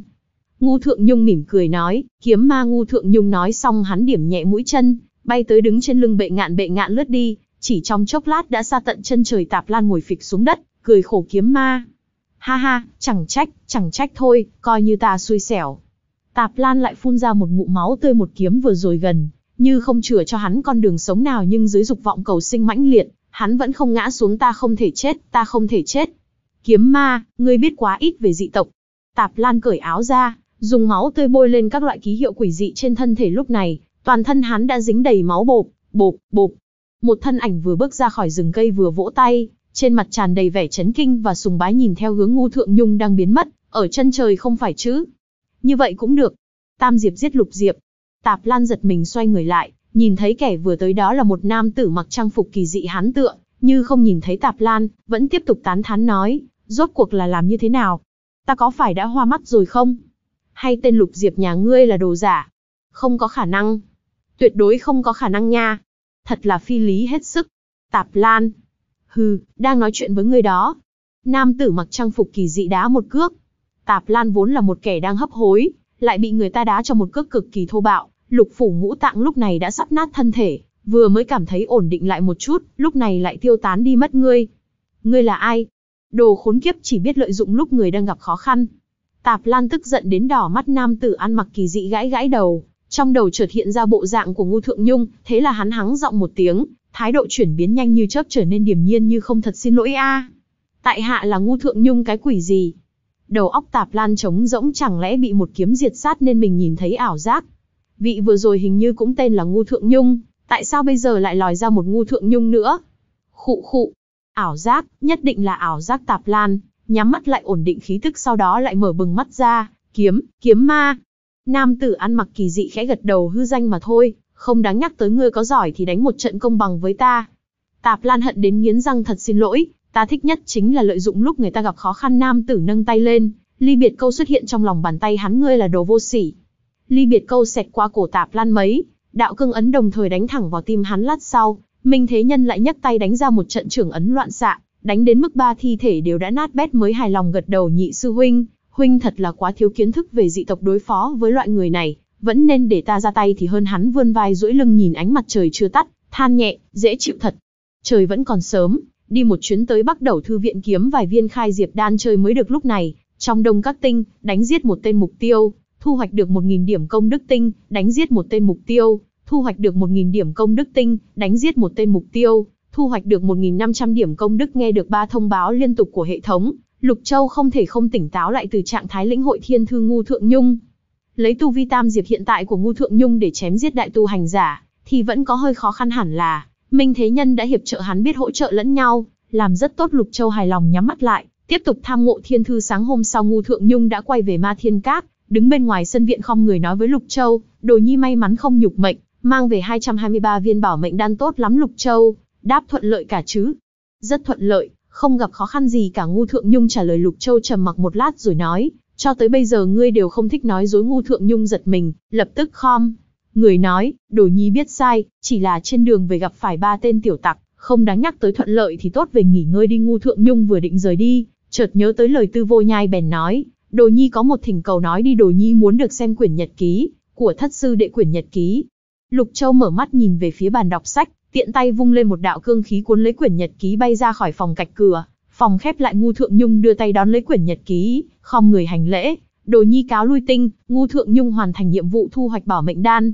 nhận được 10.000 điểm công đức lục châu hài lòng nhắm mắt lại, tiếp tục lĩnh ngộ thiên thư sau đó 4 ngày lục châu không hề rời khỏi đông cát, mãi cho đến sáng ngày thứ năm lục châu, cảm giác được lực lượng phi phàm đã khôi phục đầy đủ, trạng thái tinh thần và thể lực đều tốt hơn trước nhiều tu vi dường như cũng tăng lên không ít lục châu, thì thầm tự nhủ xem ra tốc độ đột phá thăng cấp nhờ tu hành không hề chậm, nếu vậy Lục Châu có thể tiết kiệm rất nhiều điểm công đức, để mua kim liên khai diệp về sau khi việc thăng cấp tu vi trở nên ngày càng khó, thì lại dùng điểm công đức mua, tốc độ tăng tu vi vẫn sẽ rất nhanh Lục Châu, làm một số động tác thể dục trong phòng rồi đẩy cửa bước ra ngoài sư phụ, hôm qua thất sư huynh đi Kinh Châu huynh, ấy thấy người đang nghỉ ngơi nên dặn đồ nhi báo với người một tiếng tiểu diên nhi, vừa luyện tập với Phạm Thiên Lăng vừa nói đã biết Lục Châu, chắp tay đi xuống bậc thềm với tu vi của Tư Vô Nhai, mà bảo hắn bắt trói Vu Chính Hải, về thì gần như không thể Lục Châu phái hắn đi là vì Tư Vô Nhai, có thể gặp mặt Vu Chính Hải dễ dàng, cho dù không thể mang Vu Chính Hải quay về thì ít nhất cũng có thể hiệp trợ Vu Chính Hải, đối phó với Hoàng thất nhớ tới lời Tư Vô Nhai nói, Lục Châu thầm than một tiếng nghiệt đồ quả thật số khổ, trước khi tìm được thủy tinh cầu ký ức, Lục Châu không dám xác định cơ thiên đạo, có giết Vu Chính Hải hay không lão phu là người hiểu lý lẽ nha Diên Nhi, gần đây tu vi của con thế nào rồi? Lục Châu hỏi Tiểu Diên Nhi ủy khuất nói, sư phụ, khai diệp thật là khó. Mãi vẫn chưa xuất hiện tam diệp tam diệp. Con khai nhị diệp từ bao giờ? Lục Châu nhớ rõ nha đầu này, vừa mới khai nhất diệp không lâu hầu hết tu hành giả sau khi vào nguyên thần cảnh, tốc độ tăng tu vi đều giảm mạnh nha đầu này thì ngược lại, càng lúc càng nhanh thật là vô lý. Hình như khoảng nửa tháng trước, Đồ Nhi không nhớ rõ Tiểu Diên Nhi gãi gãi đầu nửa tháng. Lục Châu thật không biết nên nói gì cho phải mới nửa tháng, mà ngươi đã muốn khai tam diệp, đúng là quá sức tưởng tượng vi sư phải ra ngoài một chuyến, con ở lại trên núi chăm chỉ tu luyện sư phụ, đồ nhi cũng muốn đi. Tiểu Diên Nhi hưng phấn nói nghe lời Lục Châu nghiêm mặt lại vâng. Lục Châu phất tay áo đi về phía hậu sơn nhìn theo bóng lưng sư phụ, Tiểu Diên Nhi ủy khuất vô cùng trước đây sư phụ đều dẫn nàng theo, bây giờ lại không cho theo nữa, sao nàng không tủi thân cho được sư phụ nhất định là ghét bỏ mình tu vi quá thấp. Tiểu Diên Nhi miếu máu lầm bầm đi tới hậu sơn, Lục Châu nâng tay, một tấm thẻ dịch dung, xuất hiện trong lòng bàn tay hắn trước đây Lục Châu không có năng lực tự vệ, nên phải mang theo Tiểu Diên Nhi nhưng bây giờ đã khác, hiện tại hắn đã là tu hành giả nguyên thần cảnh, còn có thần thông thiên thư và đống thẻ đạo cụ, dư sức tự bảo vệ mình. Nếu dẫn theo Tiểu Diên Nhi sẽ dễ dàng bị người hữu tâm nhận ra trong tu hành giới, chỉ có bước vào nguyên thần cảnh mới xem như đã thật sự nhập môn chỉ có nguyên thần, cảnh mới thi triển được đại thần thông kỳ thực tu hành giới không có định nghĩa chuẩn xác, cho đại thần thông, đa số tu hành giả cho rằng các chiêu thức mạnh nhất trong pháp môn của ba nhà nho, thích, đạo đều được gọi chung là đại thần thông, như kiếm pháp kiếm ma túc mệnh, đao pháp huyền thiên tinh mang các loại ngoài ra còn một điều nữa, đó là chỉ nguyên thần cảnh mới có thể khai diệp một khi đã vào nguyên thần, cảnh thì không còn là kẻ yếu Kinh Châu. Lục Châu nhìn về phía Kinh Châu lão phu muốn xem xem rốt cuộc tâm tư của nghiệt đồ là gì có thể dịch dung, trong tay, Lục Châu muốn bắt nghiệt đồ Vu Chính Hải, cũng thuận tiện hơn rất nhiều cho dù Lục Châu tạm thời rời khỏi Ma Thiên Các, cũng không ai dám nghi vấn gì Kim Đình Sơn, có đám người ngu thượng nhung tọa chấn, tầng bình chướng cũng đã được khôi phục, mức độ an toàn đạt tới mức cao nhất từ trước đến nay Bạch Trạch Lục Châu, gọi một tiếng, Bạch Trạch đạp bước trên mây chạy tới Lục Châu nhảy lên lưng nó bay đi trên thiên không, bàn tay hắn nắm lại bóp nát thẻ dịch dung, một luồng năng lượng nhàn nhạt, nhạt lập tức bao phủ toàn thân Lục Châu Lục Châu, không biết bộ dáng hiện tại của mình trông như thế nào, bèn hạ xuống một hồ nước dưới chân núi, cúi đầu nhìn xuống mặt hồ. Hình ảnh phản chiếu dưới hồ là một lão giả tinh thần quắc thước, mái tóc muối tiêu, ngũ quan góc cạnh Lục Châu hài lòng, điều khiển bạch trạch phi hành. Tới Kinh Châu hai ngày sau trong phòng chữ thiên trên lầu hai khách điếm Vân Lai, tại Kinh Châu thành Lục Châu ngồi nhìn ra ngoài cửa sổ, vừa suy nghĩ vừa theo bản năng đưa tay lên vuốt râu bàn tay tóm vào hư không, lúc này hắn mới nhớ tới dung mạo hiện tại chỉ có hàm dâu rất ngắn thật là. Thói quen khó bỏ dung mạo vừa thay đổi nên vẫn chưa quen Lục Châu đã đến Kinh Châu thành, từ hôm qua, điều bất ngờ là U Minh giáo vẫn chưa hạ thủ với Kinh Châu thành dân chúng dường như cũng không bị ảnh hưởng gì U Minh giáo đã hứa hẹn sẽ không làm hại, đến dân chúng bọn hắn muốn tranh thiên hạ, đương nhiên hiểu được lão bách tính mới là căn nguyên của thiên hạ, muốn đánh thì chỉ đánh hoàng thất đại viêm, và các thế lực tu hành giả đối lập mà thôi. Kinh Châu là một trong những châu thành trung tâm nhất của đại viêm, Lương Châu thành xa xôi hoàn toàn không thể so sánh nổi đáng tiếc là Lục Châu, chưa có cơ hội tìm gặp Vu Chính Hải bên, ngoài đột nhiên vang lên tiếng gõ cửa kẻ nào. Lục Châu chậm rãi xoay người lại có lẽ do đã dung nhập vào cơ thể này, từ lâu nên Lục Châu có thói quen của một lão nhân, không phải cơ thiên đạo, cũng không phải Lục Châu ban đầu mà là một loại nhân cách hoàn toàn độc lập khách quan. Chuyện ngài nhờ ta hỏi thăm, đã có kết quả tiểu nhị nói vào đi tiểu nhị đẩy cửa bước vào, cẩn thận nói, đại tướng quân chấn thủ Kinh Châu Thành là một trong bát đại thống lĩnh, cũng chính là cao thủ nho môn văn thư, tướng quân trận pháp trong Kinh Châu Thành là do nho môn bố trí U Minh Giáo, có động tĩnh gì không? Lục Châu hỏi chuyện này ngài cứ yên tâm, nghe nói giáo chủ U Minh Giáo tự mình giá lâm nhưng cũng không làm gì được, chỉ có thể trơ mắt nhìn Kinh Châu Thành hiện nay vững, như tường đồng vách sắt tiểu nhị nói ngươi rất có lòng tin với Kinh Châu Thành. Không chỉ mình ta mà tất cả mọi người đều như thế dân chúng trong Kinh Châu Thành, không bị ảnh hưởng gì cả tiểu nhị cười đáp ngài hỏi như vậy. Có phải là, tiểu nhị vốn định nói ra hai chữ gian tế, nhưng cảm giác được ánh mắt giết người của Lục Châu, nên lập tức nuốt ngay vào bụng chuyện được đọc bởi kênh Halazy Audio. Ngài nghỉ ngơi sớm đi tiểu nhị run rẩy cả người, vội vàng rời khỏi phòng Lục Châu xoay người nhìn ra ngoài cửa sổ không có tư vô nhai, quả nhiên U Minh giáo yếu đi rất nhiều ngay cả Kinh Châu Thành, cũng không hạ được trời trạng vạng tối. Trong phân đà, U Minh giáo lá cờ lớn cắm giữa doanh địa tung bay theo gió vu chính hải, ngồi trên đại điện, nhắm mắt tu hành một đoàn khí vụ quanh quẩn trước mặt hắn, lúc ẩn lúc hiện đột nhiên, Vu Chính Hải đánh ra một trưởng, Bích Ngọc đao lao vụt ra chém một vòng rồi quay trở lại bàn tay hắn Vu Chính Hải, mở bừng mắt, trên trán chảy đầy mồ hôi phù, Vu Chính Hải thở phào thì ra chỉ là một giấc mộng sư phụ. Người đừng bức ta. Hắn nâng tay lên lau đi mồ hôi trên mặt đúng lúc này Hoa Trọng Dương, từ bên ngoài đi vào, vẻ mặt hưng phấn nói, giáo chủ có chuyện gì? Thất tiên sinh trở về rồi. Vu Chính Hải nghe vậy lập tức đứng lên, trong mắt tóe lửa, mau mau mau. Người đâu rồi? Vừa dứt lời, Tư Vô Nhai chậm rãi bước vào đại điện Tư Vô Nhai, mặc một thân trường bào trông như một nho sinh ưu nhã, tay cầm khổng tước linh, vẻ mặt thong dong, tinh thần phấn chấn, hai mắt có thần đi đến giữa điện, Tư Vô Nhai chắp tay nói, đại sư huynh, lại gặp mặt Vu Chính Hải hưng phấn bước xuống bậc thang, đi tới trước mặt Tư Vô Nhai. Trong lúc nhất thời nói không nên lời về đổi phế uể oải gần đây, hoàn toàn biến mất chỉ trong chớp mắt Vu Chính Hải, đặt hai tay lên vai Tư Vô Nhai, khẽ vỗ vỗ, kích động nói, đệ đệ ngoan, vi huynh nhớ đệ muốn chết. Tư Vô Nhai, Hoa Trọng Dương, tuy nói biểu hiện của Vu Chính Hải quá mức kích động nhưng bọn hắn cũng có thể hiểu được quãng thời gian này Hoa Trọng Dương Không ít lần phải nghe Vu Chính Hải cảm giảm rông dài mỗi ngày lúc nào mở miệng, cũng là chuyện này nếu là thất sư đệ làm thì sẽ tốt biết bao nhiêu hoặc là, phải chi có thất sư đệ ở đây, tứ đại hộ pháp nghe hắn ca cẩm đến hoa mắt nhức đầu nay từ vô nhai trở về, bọn hắn đương nhiên rất vui mừng. Từ vô nhai nhẫn nhịn cơn đau từ hai vai truyền đến, nhẹ giọng nói, đại sư huynh, đừng vui mừng quá sớm hả? Sư phụ lệnh cho đệ đến đây Vu Chính Hải lui về sau một bước, nhướng mày nói, sư phụ. Sư phụ đã vào cửu diệp tư vô nhai nói Vu Chính Hải, khoát tay nếu đệ muốn khuyên ta dừng lại thì thôi đi. Đệ không có ý đó vậy thì đệ có ý gì? Ngữ khí Vu Chính Hải trở nên nghiêm túc sư phụ giả cả nên hồ đồ, đệ cũng hồ đồ theo người. Vi huynh muốn đối phó hoàng thất đại viêm, cho tới bây giờ chưa từng nghĩ đến chuyện đối phó ma thiên các. Đệ hiểu chứ tư vô nhai nhàn nhạt đáp hiểu rõ sao còn muốn giúp sư phụ. Vu Chính Hải chất vấn lời này vừa nói ra, cả đại điện trở nên im ắng tư vô nhai không nói gì, chỉ nhìn Vu Chính Hải không chớp mắt, chờ đợi hắn bình tĩnh lại lát sau, Vu Chính Hải rốt cuộc cũng bình ổn lại hơi thở lúc này Tư Vô Nhai mới nói, sư phụ không hề hồ đồ. Vu Chính Hải lộ vẻ nghi hoặc, có lẽ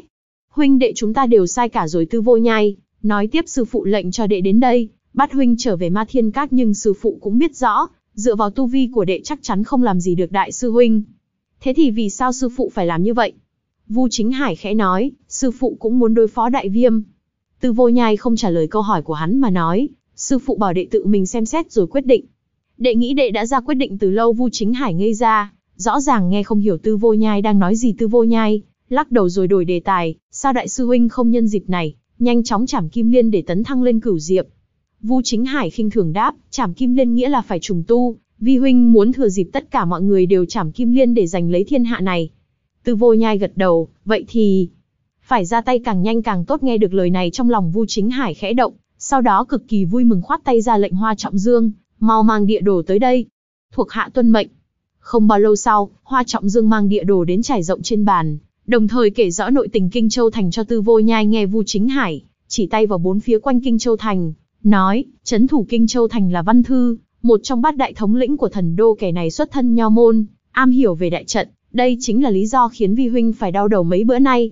Hoa Trọng Dương đứng một bên cũng chắp tay nói, nếu không phải vì trận pháp này thì giáo chủ đã sớm tóm được Văn Thư, Kinh Châu Thành cũng đã bị phá hiền đệ, có thượng sách nào không? Bên cạnh văn thư có người của đệ không? Vu Chính Hải tha thiết nhìn Tư Vô Nhai, như thể đang nhìn một vị mỹ nhân xinh đẹp động lòng người Tư Vô Nhai, nội tâm run rẩy, xưng hô của Vu Chính Hải không ngừng thay đổi khiến hắn cảm thấy rất bất đắc dĩ Tư Vô Nhai, lắc đầu nói, bát đại thống lĩnh không phải người bình thường, muốn cắm tay mắt bên cạnh hắn không đơn giản huống hồ gì chiêu này đã dùng một lần, ở Lương Châu Thành, không thể tiếp tục dùng nữa Vu Chính Hải có vẻ mất mắt Tư Vô Nhai lại nói, nhưng, đệ lại có một biện pháp khác hiền đệ, mau mau nói. Vu Chính Hải mở miệng là gọi hiền đệ, không thèm đoái hoài gì đến hình tượng của mình địa thế Kinh Châu hiểm yếu, xung quanh vùng núi rừng bao bọc Kinh Châu bị rất nhiều hung thú chiếm cứ, chúng ta có thể dẫn dụ hung thú ra để tiêu hao trận pháp Vu Chính Hải. Nhíu mày nói, Vi huynh không phải vua của môn thú, làm sao mà hiệu lệnh bọn chúng được? Tư Vô Nhai lại nói, trùng hợp là ba ngày sau trên tế thiên đài ở phía Bắc Kinh Châu, có cử hành một buổi tế sống tế sống,